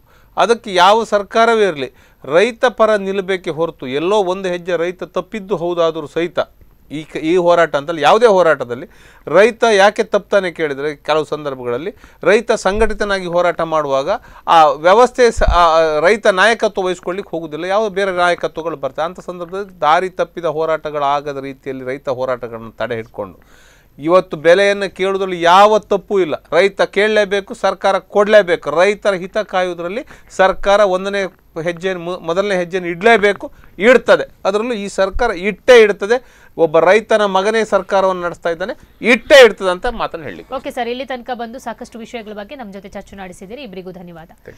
ವೀಕ್ಷಕರೇ ಇಲ್ಲಿ ಕೇವಲ ಒಂದು ರೈತರ ಬೆಲೆಗೆ ಅಥವಾ ರೈತರ ಮನವಿಗೆ ನಾವು ಬೆಲೆ ಕೊಡಬೇಕಾಗಿದೆ. ರೈತ ಎಲ್ಲಾದ್ರೂ ಮುಂದೆ ಬಂದು ಒಂದು ಹೋರಾಟವನ್ನ ನಡೆಸಿದ್ರೆ ಖಂಡಿತವಾಗಿ ರಾಜ್ಯಕ್ಕೆ ಉಳಿಗಾಲ ಇಲ್ಲ. ಯಾಕಂದ್ರೆ ರೈತ ಒಂದು ರಾಜ್ಯದ ಬೆನ್ನೆಲುಬು, ಅವನು ದೇಶದ ಬೆನ್ನೆಲುಬು, ಅವನು ಮನಸ್ಸು ಮಾಡಿದ್ರೆ ಏನ್ ಬೇಕಾದ್ರೂ ಮಾಡಬಹುದು ಒಂದು ವೇಳೆ ಅವನು ಮಾಡುವಂತಹ ಕೃಷಿ ನಾಲೆ ನಿಲ್ಲಿಸ್ಬಿಟ್ರೆ ನಮ್ಮ ರಾಜ್ಯದ ಜನಕ್ಕಾಗಿರ್ಬೋದು ಅಥವಾ ದೇಶದ ಜನಕ್ಕೆ ಒಂದೊತ್ತಿನ ಊಟಕ್ಕೂ ಕೂಡ ಪರಿತಪಿಸುವಂತ ಪ್ರಮೇಯ ಖಂಡಿತ ಬರುತ್ತೆ. ಇನ್ನು ರಾಜ್ಯ ಸರ್ಕಾರ ಇದರ ಬಗ್ಗೆ ಗಣನೆಗೆ ತಗೊಂಡು ರೈತರ ಮನವಿ, ರೈತರ ಬೇಡಿಕೆ ಏನಿದೆ ಅದನ್ನು ಆದಷ್ಟು ಬೇಗ ಬೇಡಿಕೆಯನ್ನ ಮಾಡಿಕೊಡ್ಬೇಕಾಗಿದೆ, ಅವರು ಈಡೇರಿಸಬೇಕಾಗಿದೆ. ಇನ್ನೊಂದೆಡೆ ವಿಪಕ್ಷಗಳು ಪಕ್ಷವನ್ನ, ರಾಜ್ಯ ಸರ್ಕಾರವನ್ನ ಬೆಟ್ಟು ಮಾಡೋದನ್ನ ತೋರಿಸ, ತೋರಿಸುವುದನ್ನು ಬಿಟ್ಟು ಯಾವ ರೀತಿ ರೈತರಿಗೆ ನಾವು ಕೂಡ ಬೆಂಬಲವನ್ನ ಸೂಚಿಸಬೇಕು, ರೈತರಿಗೆ ಯಾವ ರೀತಿ ಬೆಂಬಲ ಸೂಚಿಸಿದ್ರೆ ಅವರ ಒಂದು ಸಂಕಷ್ಟ ಪರಿಹಾರ ಆಗುತ್ತೆ ಅನ್ನೋದನ್ನ ಗಮನದಲ್ಲಿ ಇಟ್ಕೊಳ್ಬೇಕಾಗತ್ತೆ. ಮುಂದಿನ ದಿವಸ ಈ ಒಂದು ಹೋರಾಟ ಎಲ್ಲಿಗೆ ಬಂದು ನಿಲ್ಲುತ್ತೆ ಅನ್ನೋದನ್ನ ಕಾದು ನೋಡಬೇಕಿದೆ. ಇದೇ ಇವತ್ತಿನ ವಿಶೇಷ ಸುದ್ದಿ ಹಾಗೂ ಮನೋರಂಜನೆಗಾಗಿ ನೋಡ್ತಾ ಇರಿ. ಸ್ಪಂದನ.